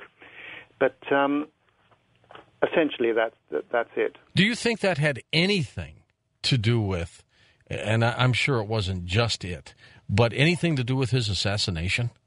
The fact that maybe one day he wanted to go public with this? I can only give my own opinion, George. I have no information.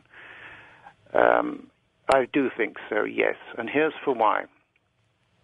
You may remember the famous Maury Island incident several days before Kenneth Arnold's sighting in June of 1947, when this, this craft was seen allegedly spewing bits of wreckage and everything Right. appeared to be in trouble. The principal uh, investigator of that case was a guy called Fred, Fred Crisman, who was uh, had been a counterintelligence agent for a number of agencies, United States Air Force Intelligence, um, CIA as well. Just coincidentally, he was one of the three tramps picked up um, at the Dealey Plaza. Do you remember those tramps? oh, don't, don't, don't. He was one of them? He was one of them, Fred Crisman. Well, now, what are the one of odds of that happening? Exactly. That's amazing. And he was heavily into counterintelligence involving the UFO subject. So I've just mentioned that as an aside in the book in the reference section. I, And, I uh, also wonder, Timothy, if on that plane flight to go witness the uh, the bodies, the creatures, if Kennedy brought Marilyn Monroe with him, because there have always been rumors that she was going to say something, and that's why Yes. they possibly did her in. Yes. Well, um, I have no evidence uh, uh, uh, regarding that, but I do find her death very suspicious. That's for sure.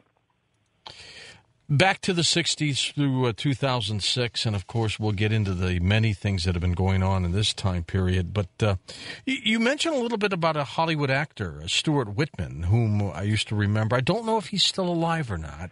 Um, I don't know. Maybe you could find out. Maybe I- you could. Maybe you could get him on the program. Yeah, I, I matter of fact, I'll find out within minutes while you and I are talking if he's alive or not. Yes. Um, but he, but he communicated with UFOs. Yes. This was this was during the famous power power cut. Um, do you remember? That was in 65. November, 9th of November, 1965. Yeah. Uh, it was definitely caused by UFO activity, in my opinion, and it was the opinion of professionals uh, like like doc, uh, Dr. James McDonald, for example, as he pointed out in a in a hearing before the House Committee on Science and Astronautics, that you know um, how a UFO could trigger such an outage on a large power network is is not clear, but this is a disturbing series of coincidences because because that um, there were UFOs seen at that time.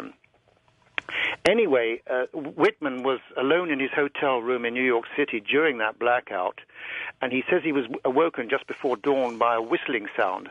I think he said it was similar to a whippoorwill. And two strange objects could be seen outside of the window, and one of them was orange and the other blue. They gave off strange luminescent light, so I couldn't see if they were portholes or what.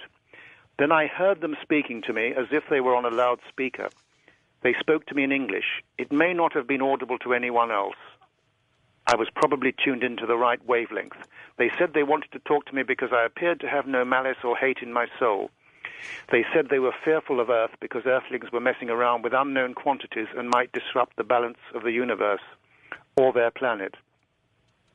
They said the blackout was just a little demonstration of their power and that they could do a lot more with almost no effort. It served as a warning. They said they could stop our whole planet from functioning. They asked me to do what I could to fight malice, prejudice, and hate on Earth, and then they took off. I felt elated. I wasn't even shocked. I was standing by the window and awake the entire time. I don't know why they picked me as a contact, but I'll swear off a Bible that I saw them out there and that they talked with me. He's 80 years old, so he's still alive out there. Great. Maybe we'll try to find him. That would be an incredible story. Yes. I will try, and uh, we'll get him on the program. Uh, during the '60s, what events uh, for you, in terms of the what you investigated, stand out the most? Oh, goodness me, George. There, there was so much going on um, at that time. Uh, you remember we talked about the 1950s. There were spasmodic gaps in, in, in the 60s, but I mean, 1965, I was in South America with uh, touring with a symphony orchestra at the time, and all the papers had headlines about it. They were all over South America at that time and other parts of the world. 67, I think, was a watershed year, no question. Things quietened down in 66, but generally speaking, 1967 was a bumper year all, all over the planet. Um, I don't know which one to single out, though, but just, just so many. Well, then I'll ask you a few questions about some. Have you? Did you ever investigate in in this area? Fascinates me. Underwater UFOs. Oh, absolutely, and I've got lots of those in the book. And I think for the first time in any any sort of uh, uh, substantial degree, sightings by by naval uh, observers, um, naval officers, Chilean Navy, naval officers, Royal Canadian Navy, United States Navy, and the Soviet Navy. And uh, they those kind r- reports kind of increased in the 1960s and 1970s, and uh, they tend we tend to overlook them. I mean, the, uh, most of this planet is sea. Um, you know, two thirds Sure. of the planet is is, is water, and um, there have been an awful lot of things. The United States Navy has a is sitting on a vast amount of information. Um, they've released barely anything, but I have spoken to naval officers uh, who've had the most incredible sightings, like uh, Jim Kopf in 1971. who held top secret uh, crypto clearance at the time. Um, and he's confirmed that uh, in, in 1971 a huge UFO was observed above the deck of the aircraft carrier, the USS John F. Kennedy. And in 1971, and it disrupted all operations on the aircraft carrier, paralyzing communications. The, the normally uh, aircraft carriers carry like uh, an interceptor on board to intercept unknown craft. The, the the Phantom jet, the F4, could not get off the ground. Um, engines wouldn't wouldn't start. Electrical breakdowns, malfunctions, the whole lot. This was only seen. Uh, Jim Kopf is the guy's name, James uh, M. Kopf. Um, the case has been published uh, before, but he, he was able to give me a lot more information and uh, extraordinary. Um, that relatively few people actually saw it at the time. It was at the end of an exhausting um, exercise um, in the Caribbean at that time. It was somewhere in the vicinity of, U- of Cuba, I think, uh, where, where the event happened. But um, at any event, it was very, very disturbing. Um, Jim Kopf thinks that probably no more than about 20 people may have actually witnessed this huge spherical shaped mass massive object uh, above the tower, as they call the, the, the bridge area um, on an aircraft carrier. I mean, there's 5,000 gu- guys were on board at the time, That's but, it, but only relatively few people actually saw it, though everyone was aware of the power failures. What this, was, this was happening to lots of naval ships at the time. Oh, yeah, I'm- Particularly those carrying nuclear weapons. Or they'd be tracked, right? Yes, sure. I mean, um, not only were, were they tracked, I mean, all, all, the, all those kind of tapes, the radar tapes, um, sonar and everything, none of that has been released. If When entries were made into the logbooks, like on an aircraft carrier, I think there's uh, probably at least two, two de- there's, there's uh, uh, different logbooks. What happens is they're either expunged or they're changed in the handwriting of the person making the entry, or they're just completely, completely deleted. And that, that is true. This is why you'll never get anything um, unless anyone, any pressure is put on the United States Navy. They are with, they, I think, have great more knowledge on this subject than the other services, since they probably have evidence or proof going back further than the Air Force. That's, that's my opinion. What do you think is going on with these alien abductions? Hmm. What's your take? I mean, David Jacobs thinks there's something sinister going on. I agree with him. Bud Hopkins has his thoughts. What do you think? Well, I've spoken to both. I'm a great admirer of, of both writers. I think, um, although some of the abductions have definitely been benign, um, I do feel there is a sinister element to, to what has been going on. Um, I- don't speak just from what I've read, but from my own personal experiences. Uh, it's not generally known, and I haven't really discussed this in my books much. And certainly, I haven't discussed uh, my, my quasi abduction experiences at all, either on the airwaves or, or, or in a book. No, but that's true. except from the fact that I have had, on hundreds of occasions, I've suffered from uh, night paralysis, and it's got nothing to do with, with, with the official medical explanations because I've, I've shared that experience with, with um, uh, for example, a girlfriend at the time was experience, experiencing it. It, uh, I have always fought against it. I have always, as far as I know, managed to get out of it. It is definitely accompanied by a very sinister feeling, I have to say. I do not, in, in, certainly in my experience regarding abductions. Let me quickly give you um, the most recent episode, George. Okay, please. Uh, only twice in my life have I actually seen anything or experienced any quasi abduction experience. And in March of this year, I went to sleep, I remember, at five to one. the next thing I knew, I was out on a road somewhere looking up at a triangle in the sky with white lights along each rim. It looked as if it was stuck in the sky. It was dark grey. I couldn't see stars or anything, but I could feel the night air on my face. I don't know where it was, and suddenly I felt myself being drawn up into the craft, and I just gradually resisted the, the, the, the paralysis feeling, and I, I, I shouted out for help. And I woke up, and I woke up at five past one. So whatever that was, I don't know, but it was very real, and um, I did not get a good vibe, vibe from that at all. I want And you that's to. the first time I've discussed that publicly, by the way. Yes, it- yes, it is, and thank you for sharing that with us. You mentioned earlier this 1978 case of the uh, young pilot who was in his small plane. He saw a disc. Uh, he, he's uh, in uh, metallic craft Australia. over, over the Bass Strait in Australia. Yeah, Frederick Valentich. Somewhere there's a recording of him Yes. calling this in, isn't there? Oh, well, the whole thing is, is has been. Um, I haven't actually heard his tape, but um, Dick Haines of the National Aviation, Aviation Centre for Reporting Anomalous Phenomena has, uh, I think, he's heard the tape, and he's written a book on the case, an outstanding book. There is another. I have actually heard a tape of another incident in 1980 involving two young Puerto Rican pilots who were flying between uh, the Dominican Republic and Puerto Rico in a light aircraft when they were being threatened. I can only use that word. They were being threatened by an unknown flying object, which was, was causing them to change course. And this is all a matter of official record because the National Transportation Safety Board has released a document. I've reproduced a page from it. They say that this thing was not an aircraft. Um, it was very threatening, and that, that was the last that was heard from them, despite a five-day air sea rescue search. Or and those two young pilots simply disappeared together with their aircraft. How can any government come out with this stuff? But they have, because the the actual uh, transcripts of some of these incidents has been released. Can you help us get a copy of this tape of this individual uh, who uh, disappeared in Australia? I don't have a copy of it, George. The only person I, I, I did just hear it, but I w- I wasn't allowed a copy at the time. But I know that Jorge Martin in um, in San Juan in in Puerto Rico. Uh, has a copy of that. Whether he's, he's likely to make it available, I don't know. But um, I would think certainly the National Transportation Board must must have something on it, or the, the San Juan uh, International Airport officials might help you there. That would be incredible.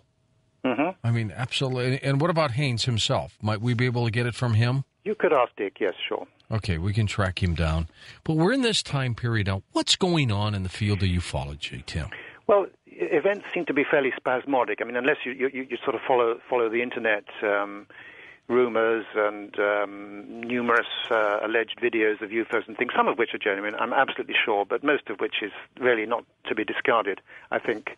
But um, there seems to be a lot going on in South America, but events in this country appear to be very spasmodic at the moment. But I have highlighted some very disturbing cases, talking about harassment of aircraft and a threat to aviation safety in Northern Ireland, uh, sorry, in Dublin, um, in, in the Republic of Ireland, in, starting in January 2004, I have case of, for example, an Aer Lingus Boeing 737 on its final approach, according to uh, um, a British Midland Airbus pilot behind, five miles behind, could see a large triangular object rose up from the ground and harassed this airliner, causing the outside air temperature to go up to 164 degrees Celsius, causing the plane's wings to be damaged. Uh, he couldn't he couldn't um, um, operate. The air brakes were damaged as well. The plane landed safely, thank God. Um, this was in the evening. Two hours later, another similar incident occurred involving an identical-looking triangular-shaped craft which harassed uh, um, another airliner on its final approach. So there you have these cases, all officially denied, but uh, very, very disturbing for, for governments. But they, they do. Uh, it's it's not common. I have to. I hasten to add, it is not common. The, these reports that these beings are being that people are being taken by these craft. Yeah.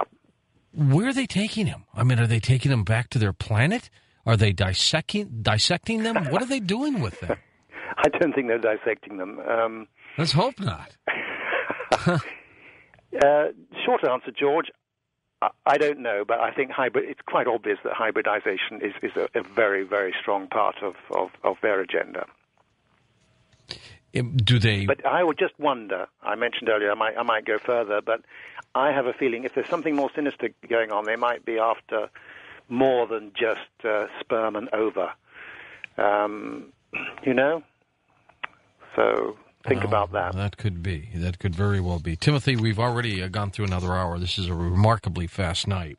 Timothy, is there a single most compelling story that you've uh, uncovered uh, with your investigations that just c- continues to baffle even the best of them? Ha! Well, I don't know.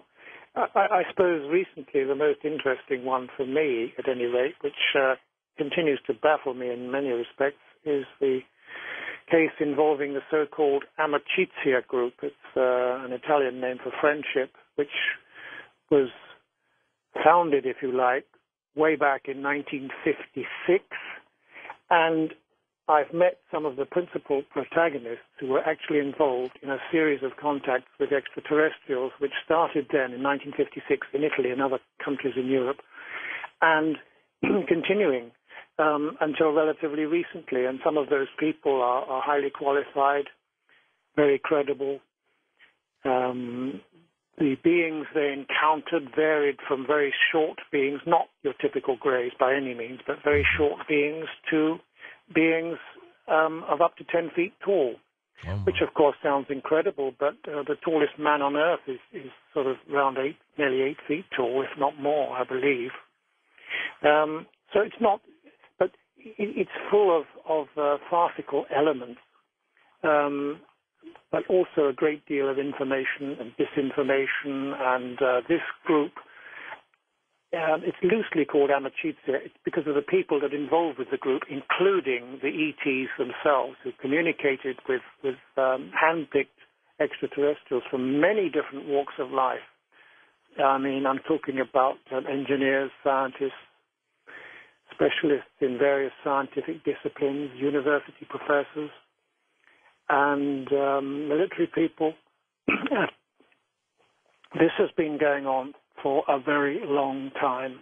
Sure and has. you don't hear so much about it now, but um, as I say, I have investigated it pretty thoroughly, and there's a great deal that still baffles me. I'm, I'm, I'm trying to learn, but um, it is it is quite quite extraordinary. I, I, I have to say. And, Did you... uh, for me, that's the most uh, most um, extraordinary event that um, I've learned recently. Didn't you want? Didn't you write a book about George Adamski some time ago? I did indeed. That was in 1983. My co-author was Lou Zinsstag, a, a cousin of, of Jung, the great uh, psychologist, mm-hmm. and uh, it had a foreword by uh, Lady Falkender, who was the personal and private secretary to Prime Minister Harold Wilson uh, many years ago, and uh, she she contributed a foreword to it, and I I still stand by a lot of what Adamski said. I think he was absolutely on the ball. Uh, later on, he became, I think, misled by by certain um, people, perhaps from certain extraterrestrials uh, we don't know. He said there was a conflict going on and that there were some mm-hmm. dangerous species around, and this is exactly what, what uh, is mirrored in the Amicizia report. Was he taken seriously during his day, Timothy, or did they laugh? Well, he was certainly, I can tell you, he was certainly taken seriously by the government. You know, he, he had a, a U.S. government ordinance passed, which gave him access to all, this has been confirmed by three people I know, which gave him access to all military bases in, in, in the United States mainland and abroad.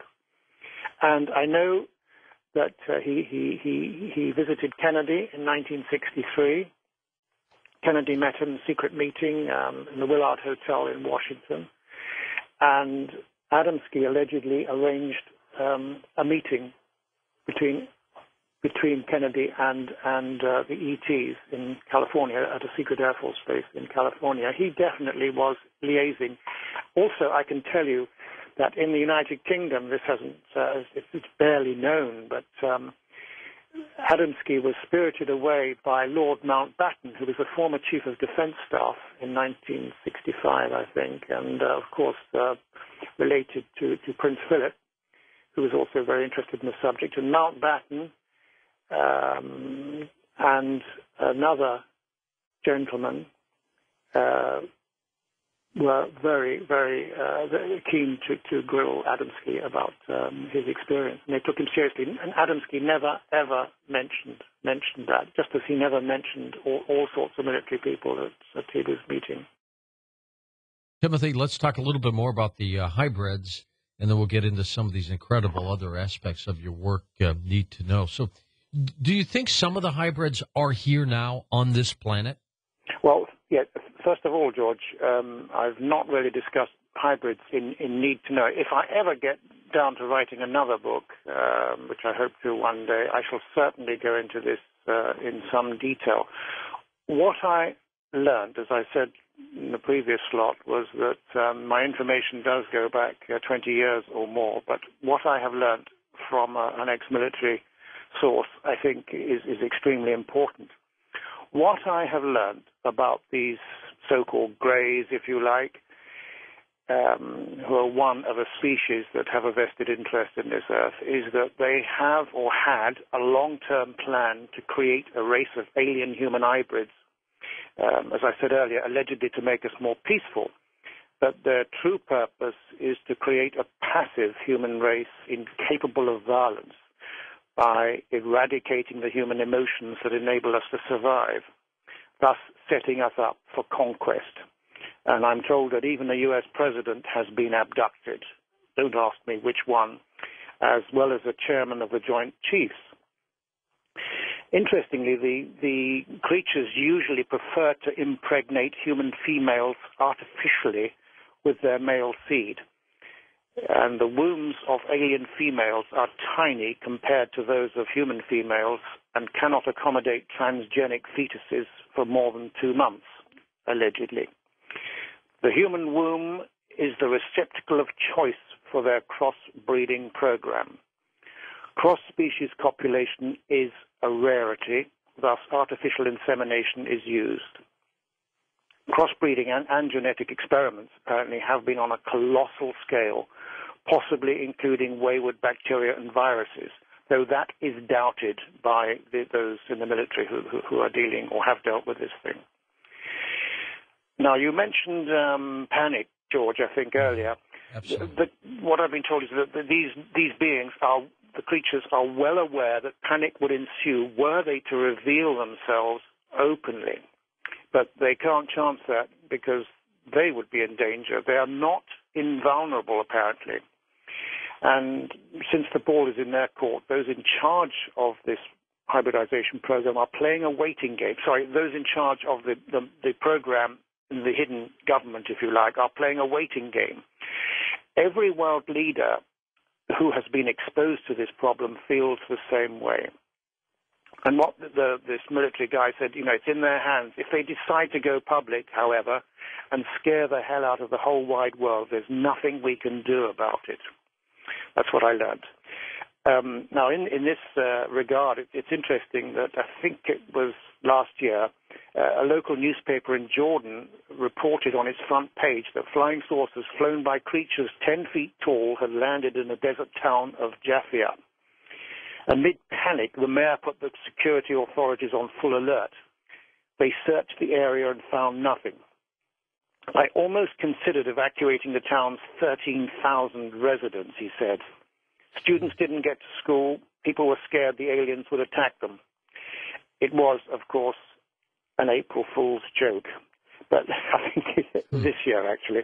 But it, it, does go to show that panic is still a fact, factor to, to be reckoned with. Well, it, it sure is. And I, have learned also that regarding these, these creatures, the, the, the abducting ones, they, although they know more about human physiology than we do, human psychology remains a mystery to them, which I think is perhaps just as well. and um, as I say, always let us not forget that, that, by all accounts, we, we do have allies also based here on planet Earth who, who do have our best interests at heart. And who have been and probably still are, I'm guessing, in conflict with, with these other creatures. You know, I had an opportunity uh, this weekend to see a little bit of uh, one of my favorite movies again, Close Encounters of the Third Kind. Uh, oh, sure, yeah. Cable network was showing it, and We've uh, we had Richard Dreyfuss on the show a little more than a month ago, Timothy, just for a bit, and he's going to be back on in the studio when I get back to uh, L.A. Oh, and, oh, great! I mean, it's just a great, great movie, and you know, I want, yes. to ask him what it was like for him to portray it and his belief and everything else. But yes. you know, this this this feeling of government communication with ETs has been so widespread has been reported for years. Mm-hmm. How widespread do you think it is that it's relationship? Not, it, it's really not not wide that widespread, George. It, it, it is highly restricted to to uh, people in, in, in the military largely, and um, scientific intelligence community. Um, there are people in, in, in civilian posts in government who, who are aware, but it, it's also largely a, there's a, a tremendous corporate um, um, investment in this whole thing, and has been since since the beginning. How close is the relationship with uh, with ETs? I think in, in many cases it's extremely close, and there's been um, continuous liaison, certainly with the more um, human types that have our best interests at heart. That's been going on for a very long time. Tell me more about you. Go ahead. I'm sorry. Sorry, say again. What's your question? I was going to ask you a little bit more about about, about Roswell and uh, and that crash there, but I didn't want to interrupt your train of thought. Um, you can interrupt my train of thought, George. You're, you're welcome. Um, Roswell. Well, I think you know there's so much talk about Roswell, so many books on it now. Everyone has different opinions and things, but it certainly happened, and um, what what more can one say? So many military and civilian witnesses have come forward, and uh, you know some of generals have even you know uh, highly qualified military personnel has, uh, like General DuBose, has signed affidavits saying saying it happened. I don't know what more people want other than nice photographs of aliens and details of communications and so forth. But I'm sure that will be forthcoming uh, in in due course. I've always wondered if we shot them down why did they didn't come back with a vengeance to pick up their dead occupants, or maybe they were robots. Who knows? There, there, has there was one case I, I was told about by a, a military source, uh, the same military source that gave me that information I, I recounted earlier about the hybridization program, that there was an incident when the aliens actually demonstrated I think the demonstration was over Farmington in New Mexico in in the late 40s, early 50s. I forget the exact date. There was a famous thing when, when, when there were hundreds of these things seen in the skies.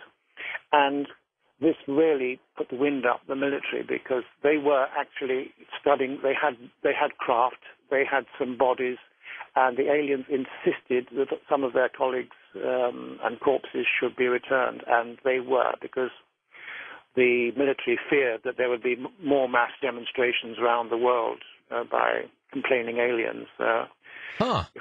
So there were there were there was liaison going on, and, and I, I gather that bodies were were were returned to them in some cases. Uh, the truth revealed all at once would be far too shocking. And there are many reasons for this. First of all, there are disturbing aspects Many people have lost their lives um, in the military, for example, since the late 40s, maybe even during World War II, when they've opened fire on some of these craft, and uh, there has been retaliation on a very large scale. That's one of the things that um, I concentrate on in Need to Know, which was published in the States in, in 2007. So I hope uh, that later in the program we can uh, get up to date with uh, some some more recent developments. But yes. um, for sure, I would say conservatively that hundreds of military pilots have lost their lives in the pursuit of um, unknown flying objects. Is it your opinion, Timothy, that if the pilots did not take an aggressive stance toward the UFO, that they might not have been harmed, or would they have anyway? I think you're you're you're you're right there because in April May 1947 when the German team headed by von Braun started developing the captured V2 rockets and launching them from New Mexico from White Sands mm-hmm. there were frequently occasions when discs flying discs were seen buzzing around the rockets and on at least one occasion, two occasions of which I'm aware, rockets were brought down prematurely and um, destroyed. And this led to retaliation by our military. The United States Army Air Forces, as they were then known, were sent up to try and shoot down the flying discs, and they were successful because I'm convinced that Roswell and several other incidents were due to craft which had been attacked by uh, military aircraft. Now, people say to me, well, Tim, that's rather unlikely. these craft have got such advanced technology and they're highly advanced this and that, and there's no way that we could we could uh, shoot them down. Surely they would be invulnerable to whatever we had to throw at them. You would think that at least. You would think that, George, but not so. What I've been told by by uh, reliable sources is that they can cope with anything electronic that is uh, fired at them, like uh, electronically guided missiles, but they are not so hot on dealing with cannon shells. And this is what brought them down, apparently. And I guess led- I guess it's it's probably as technology advances, they are so far advanced. It's like a little slingshot, and they probably don't even know what it is. Right. And you see, there were there was then retaliation by the spacecraft because all over the world, not just in the United States, as people think, but all over the world, there were in, in 1947 a very alarming series of aircraft accidents, not just involving military aircraft, but civilian airliners. And often airliners were unable to unstick, as they say in aviation parlance, unable to get off the runway and just crashed into flames at the end of the runway, killing passengers and crew. And this happened on a number of occasions. Planes were, as it were, made to collide with each other. There was a horrendous series of incidents, and Truman called an investigation. There was a crisis meetings about all this which some of this has been released uh, through the public record. And you can understand how th- this information, if, if we were told about that, I can talk about it, we can talk about it, but if that came out from, um, say, President Obama, that, you know, there's been a conflict, and furthermore that there still is a conflict going on with some alien species, how do you think we would react? Oh, my I, I really think it's got to be got to be gradual. Yeah, I think so too. You you have a passion for aviation, which Yes, is probably one of the reasons that pushed you in the direction you've gone with UFO investigations, has it? Absolutely, absolutely. And it was due to an American cousin that I became uh, involved in, in UFO research. Uh, this was a guy, Edmund C. Berkeley, uh, a second cousin of mine, who actually was the first person in the United States, I believe, to produce a, mag- a magazine on computing. And it was called Computers and Automation, I believe.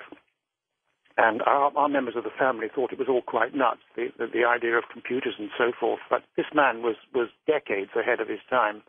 And I'll never forget the time that uh, he came to our house and said, uh, Timothy, you like airplanes? You need to know about flying saucers.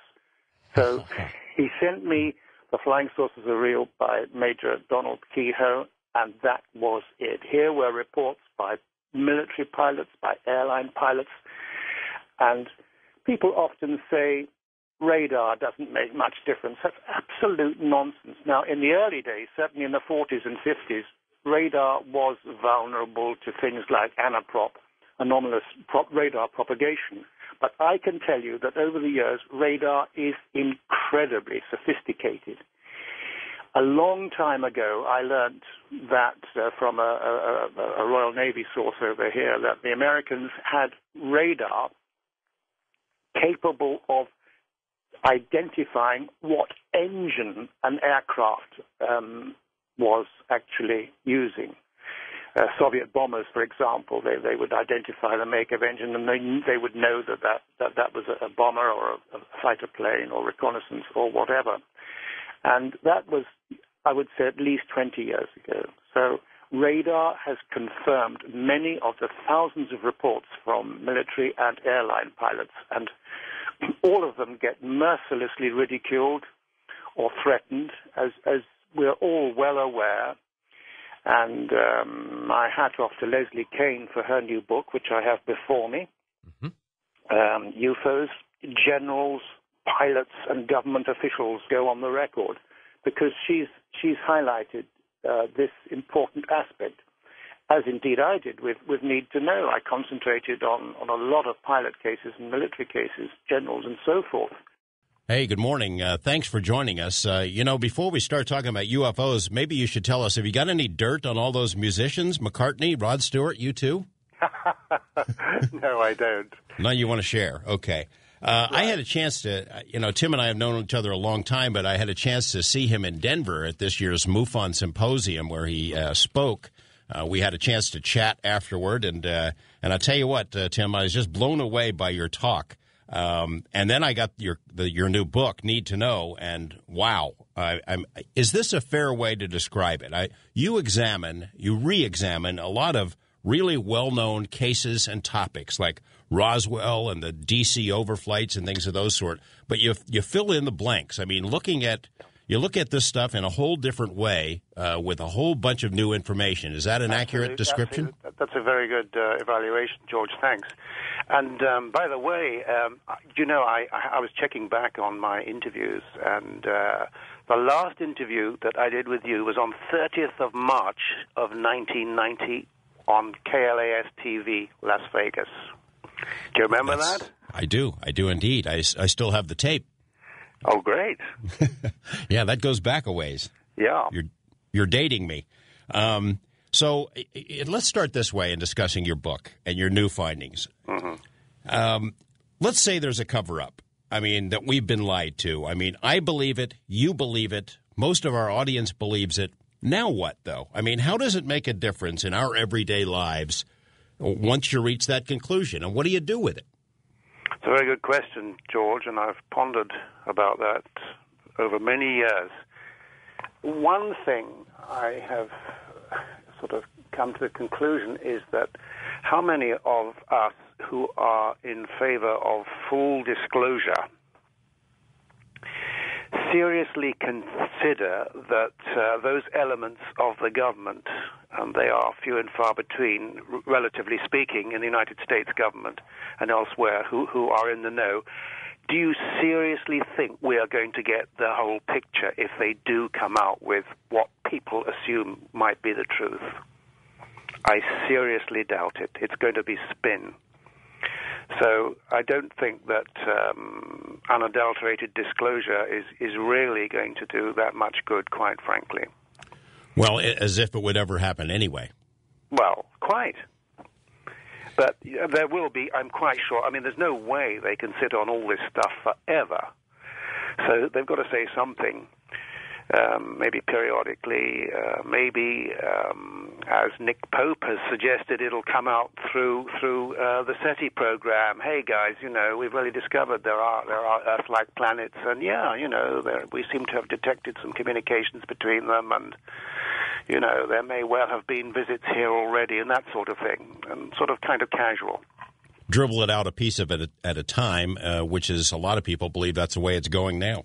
Well, that's what I have been told by, by my sources that uh, gradual disclosure is is the wisest agenda, and I might not have gone gone with that, you know, 20 years ago, but now I think probably that probably that is the best way for the sake of, of all sorts of uh, situations. You know, the economy. Um, you can imagine the stock market, uh, just general sort of um, pandemonium. You know, hi, what are the, you know, hey, what are these what are these guys doing here? You know, are they hostile and so on and so forth. Um, so, it, it, I think it has, and the, the, church, of course, is another thing. You know, the religious aspects of this subject um, must never be overlooked. I mean, uh, the church is going to be profoundly affected by by all this. Just you know what happens when uh, you know what happens. I'm sorry to, to interrupt you. Um, no, no, go ahead. Um, what happens when people like yourself or me express uh, some reservations about anything short of total and absolute and immediate disclosure? Mm-hmm. People jump up and down and pound their chest and point at you. And, you know, I would imagine there are people listening to this program now who say, we deserve the truth. We need to know the truth. And, yeah. and nothing short of full and immediate disclosure is going to do. But you know, as you and I have chatted privately, when you've been in this stuff for a long time, you start thinking about it, and and there would be repercussions, there would be consequences, and uh, and and but you know that that's a tough one to, for people to swallow. Some people who who sort of have the uh, the religious fervor about UFOs, you know. Yeah, I agree. I agree.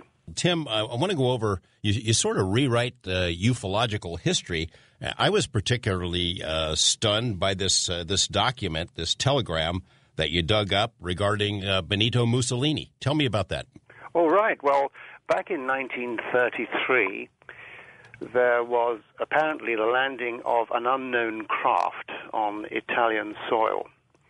And uh, this led to the establishment of probably the world's first top secret UFO research outfit, and it was called Special Research Group Number 33, or RS 33 and um, it happened in June of 1933 when when this um, unknown craft landed on on Italian soil, and this agency was set up.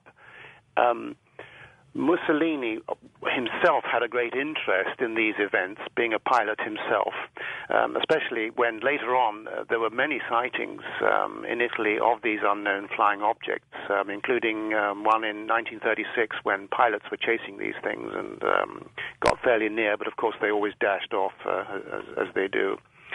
But um, Marconi was, was one of the uh, committee on this top secret panel, interestingly, the great engineer.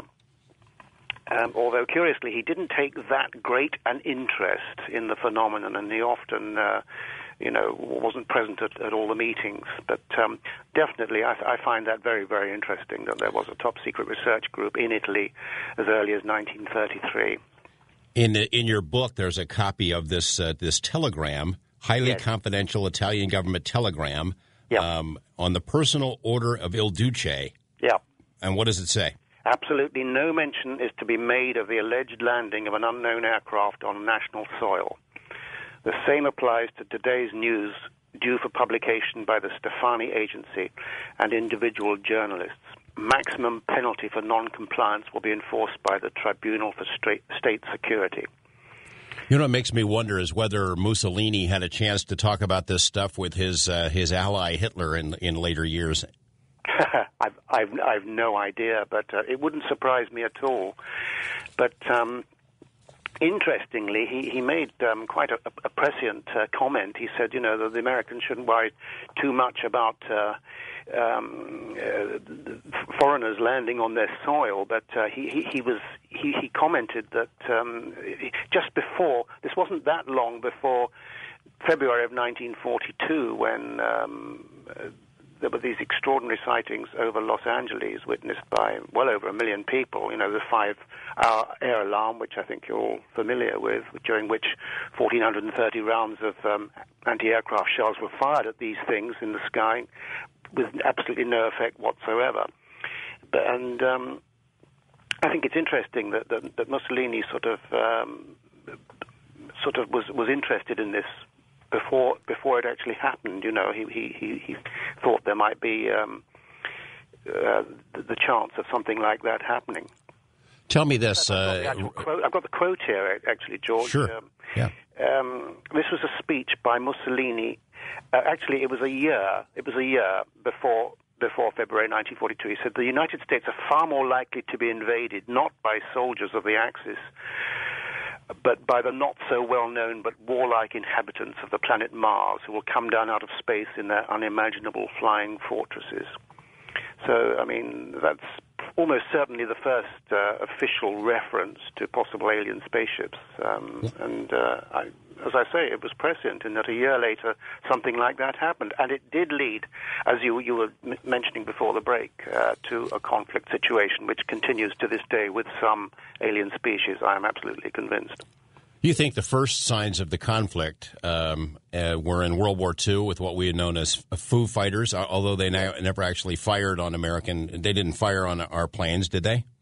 Did they interfere well, with our planes then? What I can say is is that certainly there were. When we talk about Foo Fighters, people think in terms of sort of amorphous blobs of light that followed uh, aircraft, uh, particularly during bombing missions, and sometimes stalled the engines. They certainly did that with with. Uh, B-17 bombers and things like that happened many on, on, on a number of occasions. But um, the, I, again, just before the end of the Second World War, there's an interesting story. Someone I, I spoke to, and it's, it's come out for the first time in my book, um, a Free French Air Force pilot actually um, in, was sent up. Um, the, uh, this was at, uh, at, Self, at Selfridge Field, Mount Clemens, near um, Detroit in July of 1945, and um, there were massive sightings of what the what the, the military thought were the Fugo balloons, some of which actually, were, were, you know, the, these were balloons launched uh, from Japan, and they traveled right across the Pacific, and a few of them exploded, and uh, most of them sort of crashed on um, on the west coast. You think that there is a possibility that, that in that Los Angeles, that famous Los Angeles case, 1942, the whole country has war jitters. We're worried about the you know the Japanese invading or flying over sure. and bombing us, and and so the something was flying over Los Angeles. I think it was February 1942, and and uh, all hell broke loose, and we're firing off all these uh, guns, shooting at things in the sky. Yes. You think it's possible that we shot something down then? Well, something came down, that's for sure. Um, and it was it was subsequently covered up from the next edition of one of the Los Angeles papers. Whether it was an American plane knocked down by friendly fire or what, we we don't know. I, I would not be surprised if something was shot down. But what I do know is that from uh, from from that time onward, the, the American Army Air Forces renewed their resolve to try and get some of these more of these things down, and they succeeded in 1947. What happened was that when when uh, the V-2 rockets, which were being uh, launched from White Sands Proving Grounds, New Mexico, um, with Wernher von Braun and his team of captured uh, German scientists, of course, and they brought the rockets over. The Russians got some as well, but the Americans got the best team of scientists. And of course, they, they, they were developing the V 2s for the American space program. And in May of 1947, when I, one of the very first uh, V 2s was sent up, a, a strange disk was seen sort of zooming round um, one of the, this V2, and this has been confirmed by the actual um, director, the commanding officer of White Sands at that time, that strange phenomena were responsible for bringing down, uh, in, ahead of its its normal um, the area where it was supposed to actually uh, come down, a V2 rocket, and this was on 15th of May. Peculiar phenomena were blamed for the you know the unexplained premature flight of the V2. And this led to a renewed resolve to try and uh, bring more of these things down, and they did succeed. And uh, it started May, June, continuing on into July, and further on. What happened is we started firing at these things and I believe several were brought down, leading to the so-called Roswell incident. There might well have been additional things. There was more than one craft involved, and they were seen over a period of days. And I've reproduced newspaper articles from the period, thanks to a great guy, John Andy Kissner, a former state representative for Las Cruces, who was in the aerospace business, who's given me a great deal of, of help with this aspect. Uh, of my book, and I wouldn't have, have been able to do it were it not for his uh, fantastic research over, over many years. And uh, he's dug up tons of stuff. And what happened when the United States Army Air Forces, as they were known uh, prior to September of 1947, began firing at these things. We brought some of these these craft down, and the ones that that were were, were known involved in the so-called Roswell incident took several days actually to come down. They, they, were actually seen wobbling around the sky for, for some period, and there were many reports by people, and um, this led to an unprecedented wave of attacks um, on our aircraft. And I'm not just talking about United States. Worldwide, there was a wave of aircraft disasters involving military planes, not just those that had been sent up to intercept, but, but just ordinary aircraft as well, including airliners, many of which could not get off the ground. They could not unstick, as they say in the, in the aviation trade. Um, and the, the, the, official explanations were that these, these aircraft were running simply running out of fuel. Well, you know, you don't get that many planes running out of fuel after they've just uh, taken off. And this was world, worldwide, hundreds, and I've cited probably about I don't know how many, maybe maybe uh, 50, 60, something like that. But there were there were hundreds all over the world, and Truman ordered an, an inquiry. The government was panicking about this situation, and I'm convinced that's because uh, it was retaliation by some of the UFOs for the fact that we'd shot down some of their discs. Yeah, it's a very disturbing uh, account when you when you look at all of these uh, newspaper clippings, one right after another. Yeah. At this time period, round the World Series of plane wrecks kills 180 in the Las Cruces Sun, New Mexico, and then a Yep. follow up in the New York Times. Tim, uh, you essentially believe there was a, a shooting war, and you look at these headlines about all these uh, these crashes, and it's it's before, during, and after the Roswell thing. So essentially, you're saying Roswell was one incident of many. Well, I don't know how many uh, recoveries there were, George, but um, I certainly think there were some during the First World War, which I've mentioned uh, before. In fact, I've mentioned in previous books, uh, but um, I've added a, f- a few more. Um, there was certainly one in in, in uh, that came down in New Mexico um, in August, in the late summer of, of 1945, uh, which which I've discussed uh, briefly. Came down in a little town of San Antonito near San Antonio, uh, New Mexico, and um, this was taken away by the army. And there have been other instances. One in Ohio, Ohio in 1944. Whether these were shot down or not, I do not know. But Roswell was not the first. But um, you're, you're talking about the evidence. How can we prove this? Well, I think the proof is contained in many of the newspaper articles of that period, the contemporary news articles from local papers to the New York Times. I mean, this was worldwide. There was a situation that pilots were reporting discs in the sky. Um, there were accidents happening all the time around that period, com- many of them completely unexplained.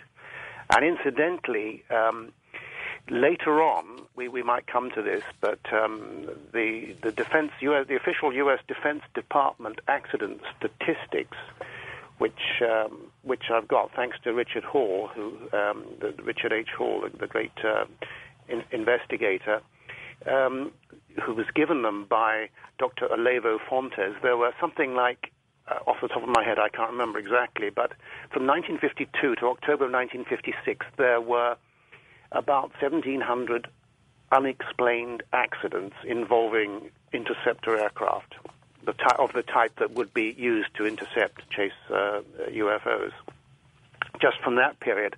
So if we were to look at the records, the way to prove it would be to look at the military records of, of these many, many accidents, and I think it would be very, very interesting indeed uh, if we can if we can get all those. Let's focus on Roswell for a couple of minutes. You write in your book that from the outset, Roswell has also been the subject of an intensive counterintelligence campaign using every conceivable trick or tradecraft by fair means or foul, such as threatening and discrediting witnesses and fabricating counter evidence. That's right. Um, that's that's pretty tough to, to cut through it uh, because these guys who do this stuff are good at it, aren't they? Well, of course, it's their profession. You know, counterintelligence. Um, for example, uh, the Air Force uh, Office of Special Investigations, AFOSI, uh, has been involved uh, for, for many, many years. Um, and there are thousands of people involved in counterintelligence uh, deception programs, um, to put out uh, false information to, and discrediting witnesses and so on. It still it still goes on, and it can be very very effective indeed. Also, you have um, uh, the media can be influenced by people in counterintelligence. It's called perception management.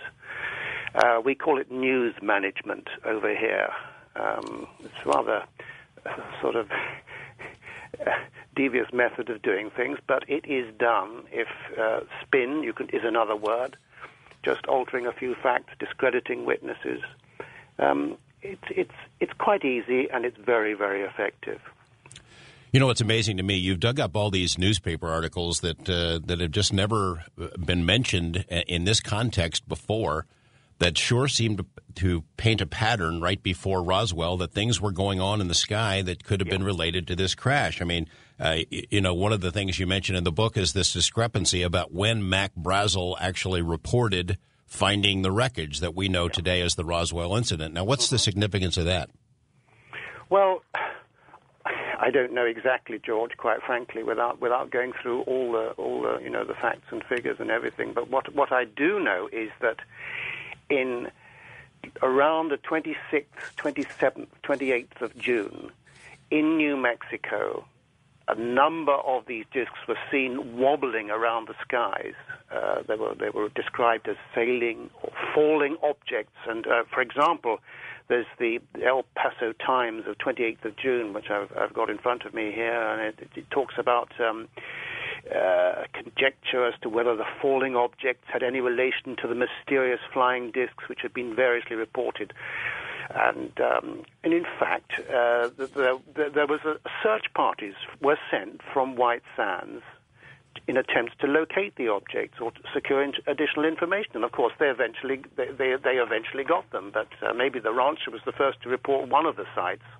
I think probably that's uh, what, what what may have happened. There were several sites. I'm, I'm still in, there's still some doubt about the exact uh, um, exact location of the sites. There might have some people say there were two, some people say there were even three. There's still some confusion about that, but um, a lot more information is is coming out now. And of course, we have Walter Haut, who who, who uh, um, apparently signed a sort of uh, uh, like what amounts to a deathbed confession that he himself, uh, he was the press officer for the United States Army Air Forces at uh, Roswell Army Airfield at the time, and um, you know, finally after his death, we learned that he'd actually um, had a glimpse of uh, the alien uh, beings themselves recovered in, in one of these incidents. So you know, the, the, the truth is sort of gradually emerging over the years, more and more people are coming forward, and um, I've introduced several more witnesses.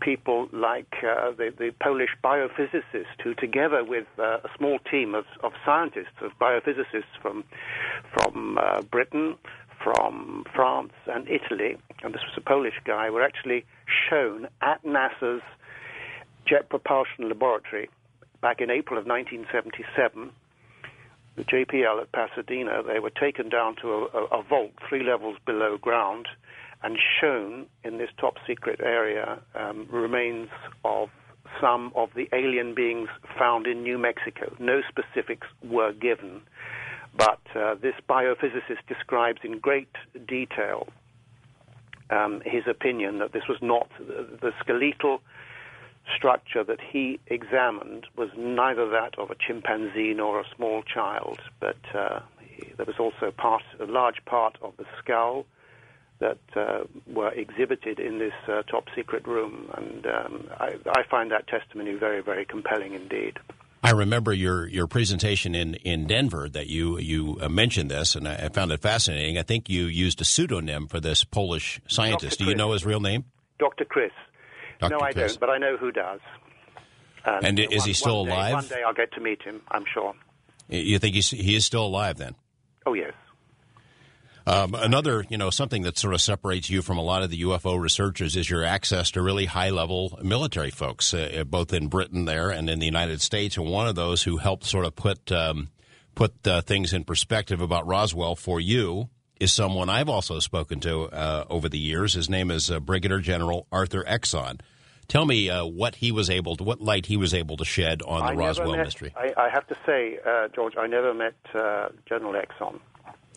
So you, the the uh, I cite information. his testimony. It was it was it was Kevin, uh, Schmitt and Randle who, who, who were the first to, to, to come out with a lot of his information, I believe, and they published that in uh, one of their first books on Roswell. How how does it relate to what you've written in this book about Roswell? I think some and, of it uh, relates very much so. Um, I find it. I find his testimony very compelling. But often these guys um, might sort of provide. Uh, they might in, in provide diversionary information, shall we say, just to, to, protect themselves or to protect some other people or anything. So it, it's you know, when military people come up with information, there's, it often is accompanied with disinformation, particularly when you come to exact areas where things were recovered and things like that. I mean, they don't want people going out to these places and sort of um, combing them because there's there's there's more definitely more than one crash site involved in the Roswell thing, and um, there's there's quite a bit of new testimony that's uh, been provided. But as I say, that was that was just one. Uh, Wernher von Braun uh, apparently was also um, shown some of the recovered bodies, according to uh, Clark McClelland, who, who was a NASA aerospace engineer. and he kindly provided me with some information, and uh, he chatted to Dr. von Braun about Roswell, and he allegedly said, I'm quoting uh, Clark here, he says that uh, he and certain of his associates have been taken to the crash site after most of the military were pulled back. Uh, he told me the craft did not appear to be made of metal as we know metal on Earth, almost seemed to be created from something biological. And um, the bodies, he said, were temporarily being kept in a nearby medical tent, small, very frail, and had large heads and large eyes. And uh, he, he said that his inspection of the debris had even him puzzled. Very thin, aluminum colored, like silvery chewing gum wrappers, very light and extremely strong. Well, we've heard that before from, from other people, of course. And he says that uh, the, the interior of the craft was nearly bare of equipment, as if the creatures and craft were part of a single unit. So that's that's someone else. And um, also, there's there's a number of other witnesses um, who are cited, like Sergeant Robbins, which um, I've gone into in, in some detail. I don't know how many.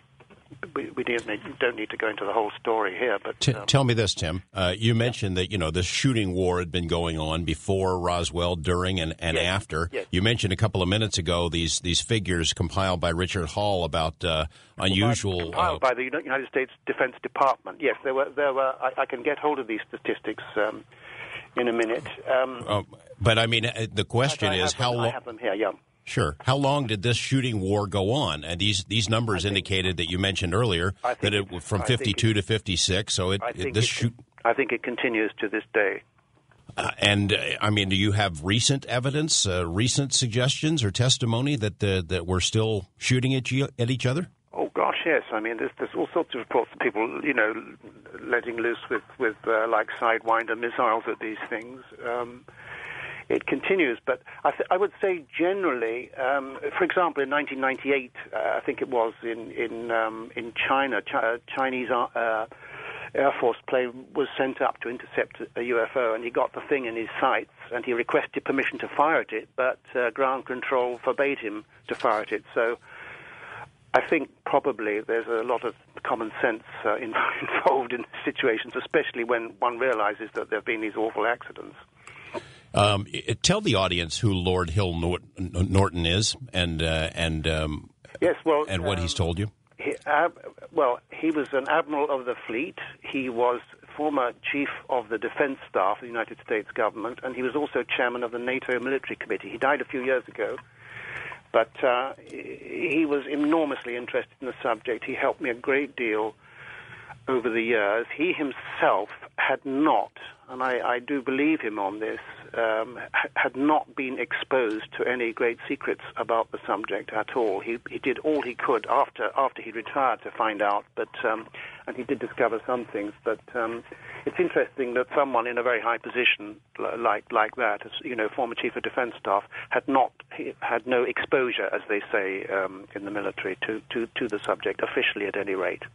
Ever any discussion with him or other uh, British military officials about the possibility of, uh, and I don't know the answer to this, I'm just asking off the cuff, but whether or not there is a British Roswell? Did you ever? Did this is this question was sent in by one of the listeners uh, of the program a few days ago, but is there any indication that the British military forces tried to shoot him down and, and may have succeeded? Um, I, I, I wouldn't doubt it. I have no firm information myself about that. There are various rumors of, of, of incidents, but I have no solid information, you know, to sort of base any opinion on at the moment about that. But what I do know is I'm quite sure there has been a conflict situation, um, and that it, it has been covered up. I'm, I'm absolutely certain that many British military aircraft have, have disappeared, pilots never found, aircraft never found, that sort of thing, as just as they have um, in, in the United States and, and other countries. Now, I've got these statistics in front of me from the book. Um, there were, from 1952 until the end of October 56, 18,662 major accidents of military aircraft, most of those involving high performance uh, interceptors of the type that would be used to chase uh, the flying discs. Now, that's an extraordinary number of major accidents. And um, of that total, 56% 6% were found to be caused by pilot error, 8% by ground crew or other personnel failure, 23% failure of parts and equipment, and the actual figure of unexplained um, accidents is 9.5, which amounts to 1,773 accidents due to unknown factors. Now, wouldn't it be interesting to research all those cases involving unknown factors? Perhaps uh, some someone should uh, file a freedom of inf- information request about that. Uh, consider it done. Let's we'll, we'll get on that. Um, uh, tell me, uh, what about the ghost rockets? Before we leave this period, after. World War II, these these this phenomenon is known as ghost rockets, and uh, over Scandinavian countries, a lot of folks thought they were just regular missiles. Um, what what's your new take on that that you express in the book? Well, first of all, you, you know, I, my book has a foreword by Bill Gunston, who is one of the world's foremost aviation historians, and he absolutely assures me that the, whatever the ghost rockets were um, they were not Russian rockets using captured German equipment. That was the prevailing theory of the intelligence people and the military at that time. Often, you know, rockets need guiding vanes. You know, you, you, need you need some kind of thing to, to direct them. Um, these missiles that were seen frequently had absolutely no no no uh, fins or vanes or anything like that and they often moved just completely different from from um, the way rockets move. They were sometimes, you know, uh, seen sort of diving and climbing, other times proceeding in, in a relatively leisurely sort of, of manner. And there were actually accidents. I mean, this was going on not just in, in Scandinavia, though particularly in Scandinavia, but it was around the world, actually. There were reports from India, Turkey, many other countries, Greece, and um, the incidents of, of, there were a number of aircraft accidents, as a matter of fact, um, quite quite disturbing. And I've I've um, I've, I've, reproduced um, a headline from the uh, I believe it's the New York Times here: Ghost rockets, plane hits rocket, three Swedes killed, and. Um, so you see, there were a number of disturbing incidents then, and uh, that some of these these things were seen diving into lakes as well. We don't know what was going on there at all. And as I say, the consensus at first was, was that these were Russian rockets, but they were not. They were, and and they obviously weren't ordinary rockets of any of any kind.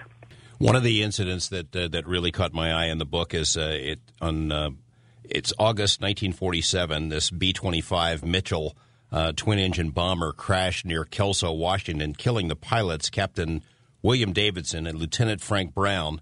They were intelligence officers. Yeah. And uh, and I guess apparently they were returning from Tacoma, Washington, where they'd interviewed, of all people, Kenneth Arnold. Kenneth Arnold the, the... and Captain Ed Smith. That's right, who, would both been witnesses to UFO sightings uh, earlier that summer. And this was this became known as the what I refer to as the, as, as the sinister Maury Island incident of 21st of June, which is a, a, a very strange episode and. Um, I um, I can I, I, you know there is a there is a very good book um, by by Kenn Thomas. Um, if I uh, a, it's called uh, Maury Island UFO, the Crisman Conspiracy by Kenn Thomas. Um, published by Illuminet Press, and um, I find that absolutely fascinating. Yeah, the Crisman name pops up in some interesting places. When we come back, we'll uh, we'll look a little bit more into this incident as well as the infamous uh, Washington, D.C. overflights and some new information there. You know, Tim, we'll get back to some specifics. I guess what I'd be wondering is, uh, you know, given the fact that uh, that from everything we know about UFOs, wherever they're from, other planets or dimensions or whatever, that they're so far technically advanced, yeah. uh, so far beyond what we have. Why haven't they just wiped us out? If they're if we're shooting at them, they're shooting at us. Uh, you'd presume they could do a lot more damage than they've done. Absolutely, I, I, I, agree with you, and, and this makes me very skeptical about about the whole uh, possibility. But uh, at the same time, there have been incidents where we have shot at these craft, and in some cases have brought them down. Certainly in the early days. My understanding is that uh, that even our technology has been developed to the extent that we now have very, very uh, capable weaponry to deal with some uh, craft, but I'm quite sure that should you know we they, they could wipe us out if they wanted to. No question about it. Well, you you know maybe then you get into stories like about Area 51 and Bob Lazar and Phil Corso and Mm-hmm. things like that that we've uh, we've been able to recover this technology. Maybe we've lessened the gap over the years. Exactly. That's uh, absolutely. I'm with you 100% on that one, George. Um, let's talk about for a minute about the uh, the DC overflights in July 1952. It's one of the most famous UFO episodes ever. Series of UFOs seen over Washington, sensitive areas, over the Capitol. Um, military jets are scrambled. They go after these things. They can't catch them. Uh, that's the official story becomes oh the radar operators who saw these things uh, it was just caused by a temperature inversion. That's right. Gi- Give me your take on that story and and uh, and tell the audience the kinds of new information that you've uh, that you've acquired for this book that uh, that puts it in a different light. Well, uh, just uh, you know, to take one example, um, it, it, the, the sort of over over the, the sort of general impression one gets is that these were just blobs in the sky, and, and they sometimes showed on radar, and other, times not. But in fact, sometimes quite large objects were seen quite quite clearly, such as um, there was one object about 100 feet long, which uh, hung in the air cigar-shaped craft. Um, this was this was leading up to Washington, uh, the D.C. sightings, and then um, at one stage. Um, shor- Shortly after objects were seen heading towards D.C., over 500 people on the ground observed uh, this strange object hovering north northwest of the city, uh, including a physics professor from George Washington University who says that during the eight minutes this object was in sight, it, it came down so low that downtown buildings were obscured from his view. So that I find an interesting um, aspect of, of the, the DC sightings, that one actually came down that low. You talked about these these giant craft. I think I can't remember where it is exactly in, in the book, but I thought it was in relation to the Washington D.C. Uh, overflights, where these things like like the giant craft from Independence Day or something were were, were way up in the sky. That's absolutely right. This is according to Major Donald Keyhoe, who, who was a, a hero of mine, and he was responsible um, indirectly for, for stimulating my interest in the subject back in 1955. He discovered that um, during the period UFOs were being tracked in the DC area, gigantic objects were tracked orbiting Earth. Two of them, he says, came down between Washington and Baltimore and hovered at around 79,000 feet. And this is what uh, he, he, he told uh, journalist Bob Pratt, whom I knew as a very, very good journalist. This is what Keyhoe says. I, I, I, I, um, I talked with one of the pilots who was in the jet squadron that was trying to get up near one of those things, and he said, I've never been more terrified in my life. Just to look at that thing, you could tell that you'd be crazy to go up there and try and shoot at it. Thank God we couldn't get up that close. Later on, he had a friend who told me, Yeah, I was there and I was scared too. I don't know any of the pilots that were involved who weren't scared just seeing those huge damn things like that. But it's So- it is sort of like the imagery from Independence Day, those Yes. gigantic mile long ships, and the smaller ones would yeah. You know, I remember uh, reading your your book Above Top Secret long ago, and there was a photo of Winston Churchill in there, and a quote from him as saying, you know, ordering uh, the Ministry of Defense, I guess, hey, what's the deal on the UFOs? But until I read this new book, I didn't understand the context. His comments were were inspired by the DC overflights, or was it something else? Yes, it was by the DC overflights. Absolutely. What does all this stuff about flying saucers mean? You know, what's what's uh, what's the truth? Let me have a report at your convenience. Um, uh, that's off the top of my head. It was something like that, and they came back. Prime Minister, don't worry. We've we've made an investigation in conjunction with the Americans. They were re- referring, of course, to the top secret. Flying Saucers Working Party, as it was called in Great Britain, wonderful title, in, which was established in 1950 uh, for one year. Uh, they liaised with the Americans, and the object of the exercise, in my opinion, was the Americans were trying to get the Brits to discredit as many, especially the really good caliber sightings coming from pilots. I mean, we had sightings here in 50s, in the very early 50s, prior to Washington, that um, uh, there were sightings over Farnborough. Um, sort of major test pilots were seeing these things at, at, Farm, at Farnborough, the Royal Aircraft Establishment at Farnborough in Hampshire. And um, at low level, a craft came right over, I've, I've described this in the book, came right over the airfield seen by many officers, including these test pilots, on the ground. And this thing wasn't, it was at about I don't know, no more than a thousand feet, something like that. And it was it was metallic. It was making uh, crackling sounds. There was a smell of ozone. There was a humming sound, and so on and so forth.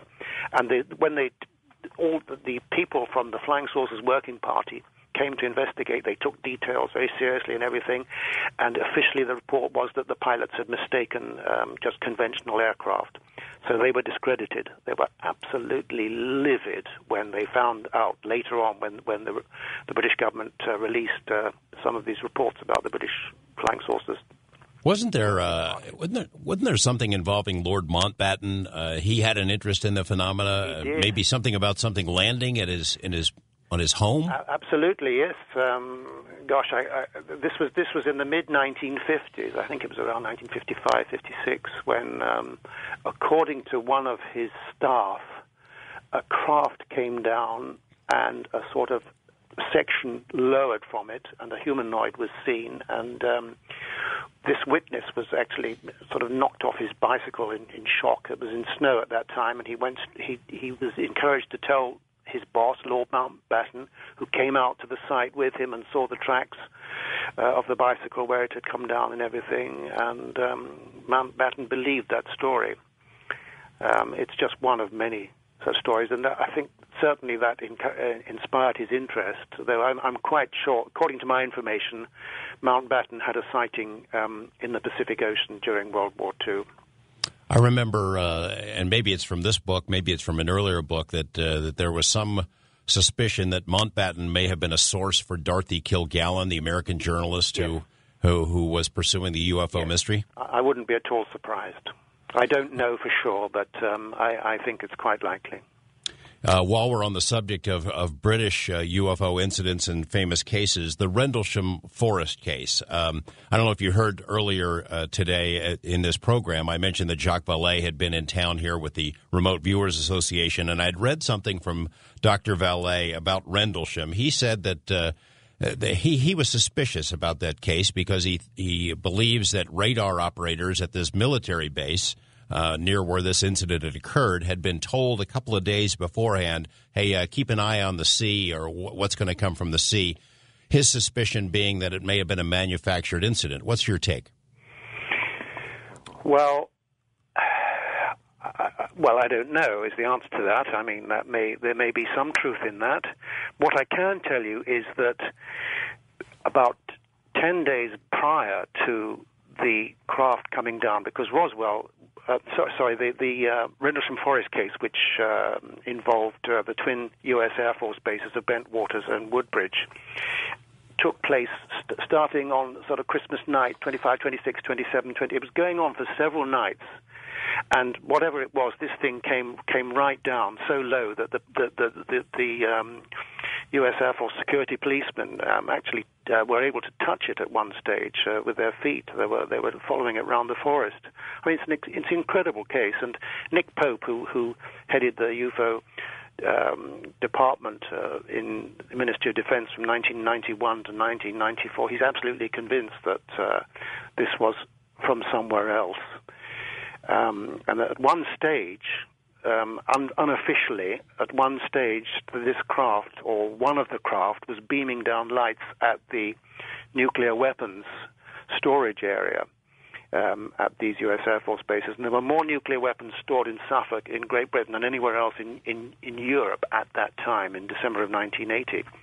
But I'd also like to add, George, that on the 15th of December, this is 10 days prior to Woodbridge Bentwaters, an identical craft was seen right over my area. I saw it myself, not for long, unfortunately, and it was one of those rare occasions when I didn't have a camera with me or a movie camera. But I did see this brilliant point of light in the sky, and I wondered what on earth it was. It didn't. It, it didn't seem like an aircraft. It was completely cl- uh, cloudless sky. But to cut a long story short, the next day I was told by a journalist that uh, many people had seen for an, uh, an hour and a quarter at least an object in the sky, and with, with binoculars. It was an elongated tri- sort of triangular thing.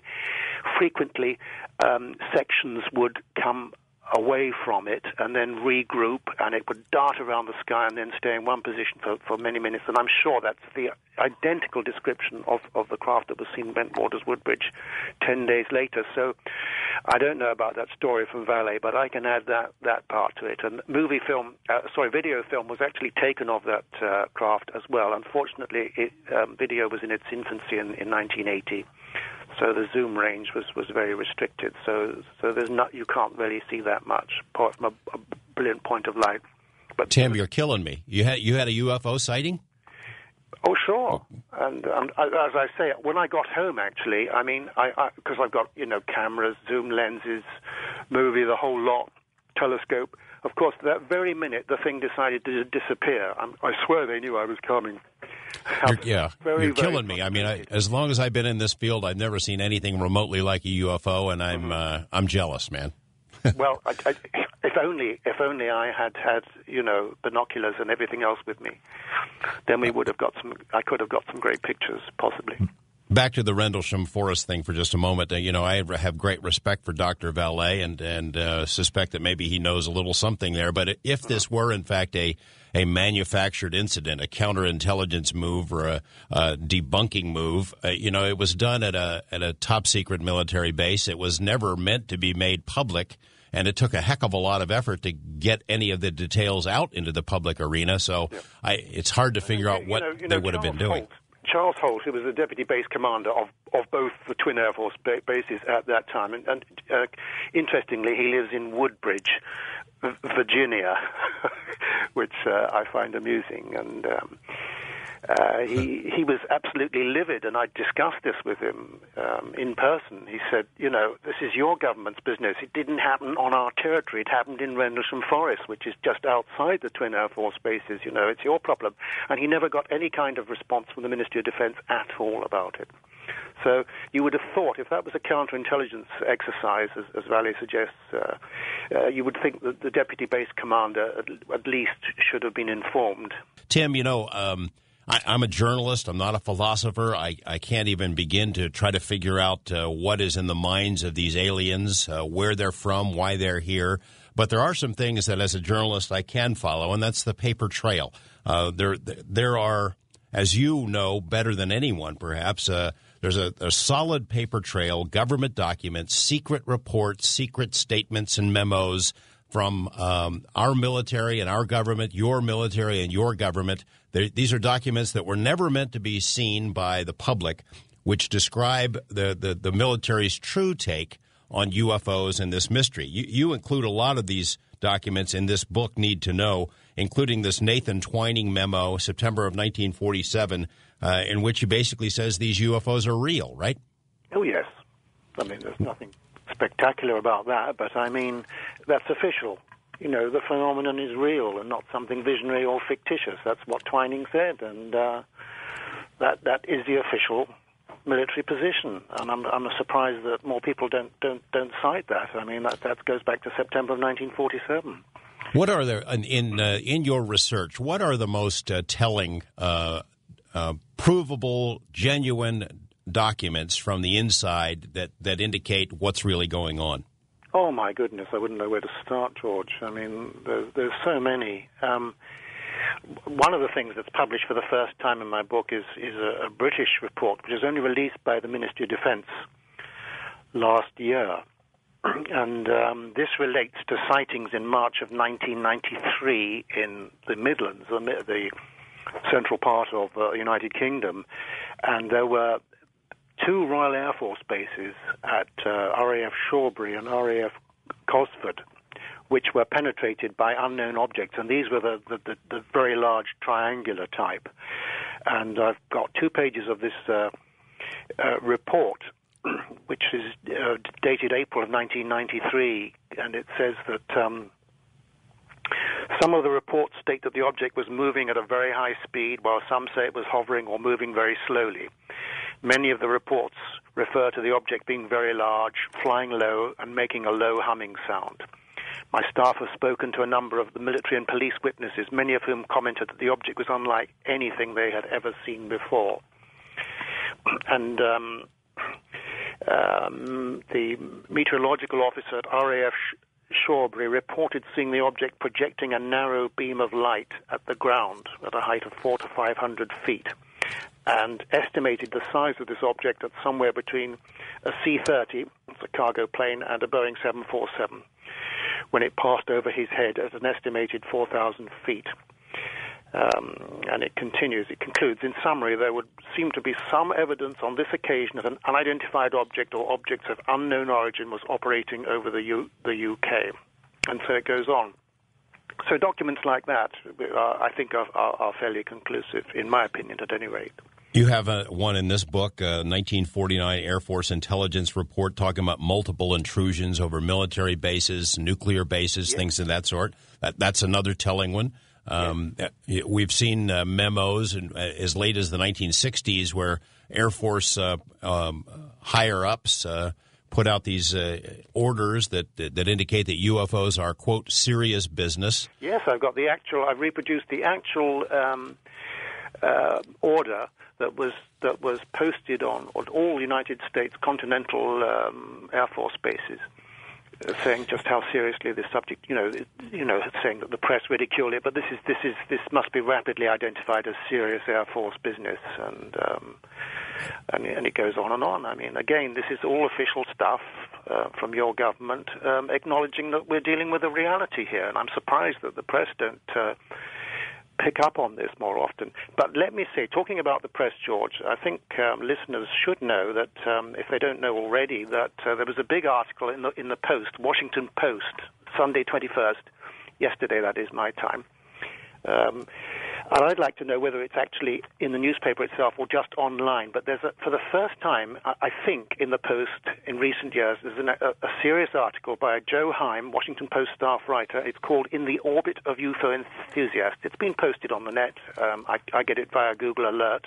Yeah, I've read it. Yep. You read it, I, and it you know it talks about Bob Swiatek and uh, a lot of serious researchers, and there's there's there's there's not much of an element of ridicule about it, and, and I find, I'm very, I'm very impressed by this. I, I've uh, I have sort of posted a comment to Joe Heim, but I haven't had, heard anything back yet. You know, but um, well, you know, you, we have these, uh, you know, this paper trail. It's very telling. It, it's very serious, and, and it sort of paints it in black and white that that there really is something going on, and our military has known about it for a long time. But one reason that the press people uh, reporters may have trouble uh, pursuing this is because there are other documents that pop up from time to time that yeah. uh, uh whose provenance is less uh, solid. I mean, the MJ12 documents. You wanted to ask me about MJ12. I do. I, and the reason it's uh, it's timely now, if I don't know if you've seen the current issue of the MUFON Journal, but you were there in Denver when Brad Sparks got up and delivered this scathing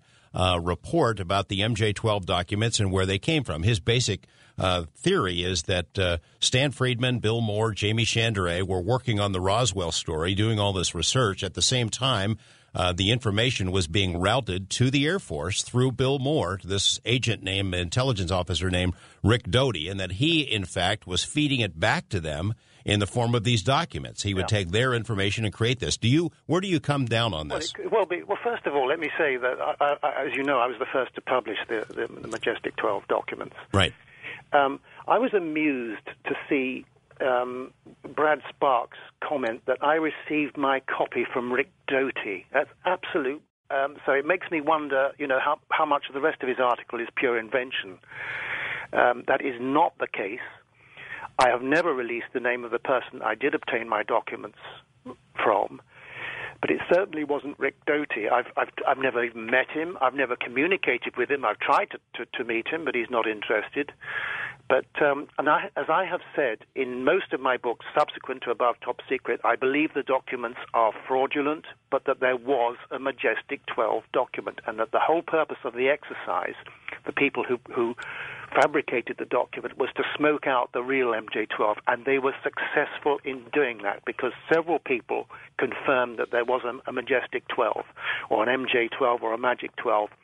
Now, one of whom was Dr. Eric Walker, who was a British physicist and a Harvard graduate, um, and he was former executive secretary of the Research and Development Board, chairman of the National Science Foundation's Committee for Engineering, and so on, and president of Penn State University. And this is in a recorded conversation with Bill Steinman in 1987. confirmed that he'd attended meetings at Wright Patterson concerning the military recovery of flying saucers and, and um, occupants, and he confirmed the existence of MJ12. So, and would uh, would Sarbacher? I beg your He thinks would Sarbacher, Robert Sarbacher, uh, would he be on that short list of people who've confirmed it? Yes. Um, in, not not sort of directly, but certainly indirectly, and other people have confirmed that there was definitely a Magic 12 on MJ12, and um, um, I mentioned um, Andy Kissner, the, the, the former state representative for Las Cruces, who gave me a lot of information. He believes, and I've published it in the book, that the acronyms MAJIC and MJ12 could have been formed from the Manhattan, short for Manhattan Engineering District, Joint Chiefs of Staff Integrated Command, Project Y of Division Z Group 12. Now, I won't go into all that's all rather com- complex, but um, I was in touch with uh, Sandia Laboratories historian uh, Rebecca Ul- Ulrich um, it, for my research in, into into all this, and she said she's never she had no records pertaining to anything like that MJ12, Magic 12, or Majestic. But I think another possibility suggested by uh, Dr. Wood, who of course is uh, very much involved in the Majestic. Um, controversies that MAGIC was formed from military assessment of the Joint Intelligence Committee, and that sounds uh, quite quite possible as well. But it remains clear to me that there was definitely a, a, a, an, an organization of, of, of that name. Um, tell me this: you, you, mentioned that you know you're not going to tell us who your source is, where you no. got the uh, the MJ12 documents from. You you know it wasn't from uh, Rick Doty. Is Rick it? Doty, no. Is it at all possible that your source had some contact with Rick Doty? That Doty might have fed uh, the documents to he or her? I'm I'm sure it's possible. Okay. Um, so uh, so, do you believe that there's an MJ12 now? Or something well, like it? By whatever name, yes, I do, definitely. Do you have uh, any kind of proof, or is just a feeling that I there? Don't have, I don't have any proof. No. More of a feeling that there would have to be someone that would handle this stuff. Uh, absolutely, no question about it. What's your take on Colonel Phil Corso? I think he's on the, on the level. Unfortunately, he didn't check the manuscript before it was published, so there are a number of errors and things have been slipped in by his co-author um, which um, are not quite accurate. But I think essentially, yes, he was absolutely on the level. Moreover, uh, people have tried to tell me that Corso was, had nothing to do with the National Security Council. This is this I've been able to disprove because I have the actual um, military his military papers which confirm that although he wasn't on the National Security Council itself, and maybe that was just part of the, uh, the, the, the, manuscript he didn't check in his book, he served on the intelligence staff of the National Security Council's Operation Coordinations Board, uh, later known as the Special Group. 5412, then Special Group 54 12/2, which which planned, coordinated, approved, and evaluated the most sensitive covert paramilitary and clandestine operations ever mounted by a United States government. So that's what Corso was doing. Top secret work as an intelligence officer at the National Council, but he didn't actually stand on the National Council, the Security Council itself. Right, and now you know one of the, the main criticisms of Corso. He he had said that uh, that technology, that materials from crashed or recovered saucers had been sort of filtered out to industry, to national labs, and things of that sort. In the 60s, and, yeah, the early 60s. Yeah, in the and of course, the critics have said, "No, nah, that's a bunch of baloney. We developed this stuff on our own." There's a there's a paper trail to show where uh, fiber optics and things like that came from. That's but right.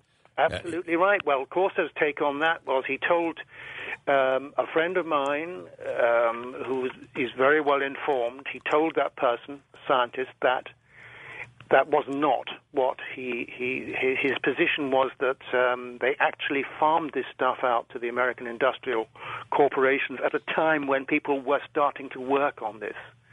So it wasn't as described in the book. Um, so, so the critics are absolutely right, but Corso himself was very upset that that's the way it came across in the book, and it's not what he what he maintained. You know, you and I, uh, we started our conversation with uh, talking about disclosure and and how it might work and why it's unlikely. Uh, it, it, this uh, this topic came up while we were in Denver. Um, you know, there are a lot of groups in the UFO field who are pushing for congressional hearings as if that would somehow be a revelation and, and it would be, you know, a smooth sailing after that. What's, what's your take on c- congressional hearings? Uh, possible, likely, unlikely, uh, un- unproductive? Listen, listen, I've been involved for decades, um, periodically assisting congressmen, a number of your, your congressmen in, in inquiries with the object of getting closed hearings.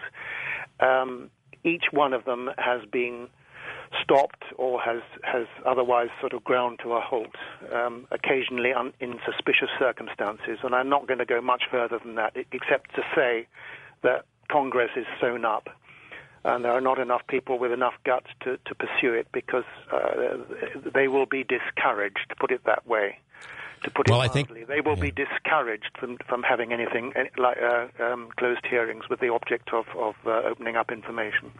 I think I've spoken to some of the same people that you've uh, you've spoken to. I know that there is interest among some uh, elected members of Congress in this topic, but it's got to be on a very quiet level. And um, you know, just from a pure political standpoint, they'd be crucified uh, for showing an interest in a topic that so many people think is, is goofy. The other thing I worry about is, and maybe you can comment on it as, on it as well, is the the existence of of uh, highly vocal. Uh, UFO groups who would raise hell if they were left out of any congressional hearing, and these these are groups who uh, uh, have very controversial beliefs um, that are not even shared by most of the people in the UFO field perhaps created specifically for the purpose of, of deterring congressional hearings. Yeah, quite likely. I go along with you.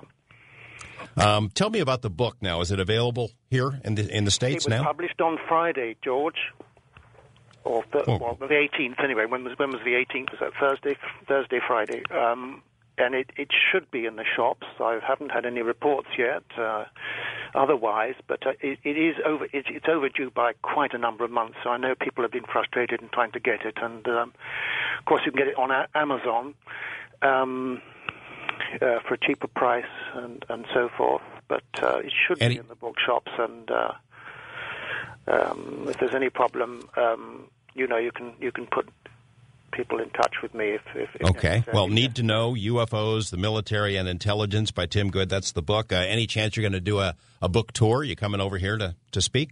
I, I wish, but I can't afford it. Believe it or not. Unfortunately, I'd love to do that, and um, I'm cooperating with my publisher uh, as best I can in in promoting the book. But um, I shall certainly be over uh, in the states um, next year.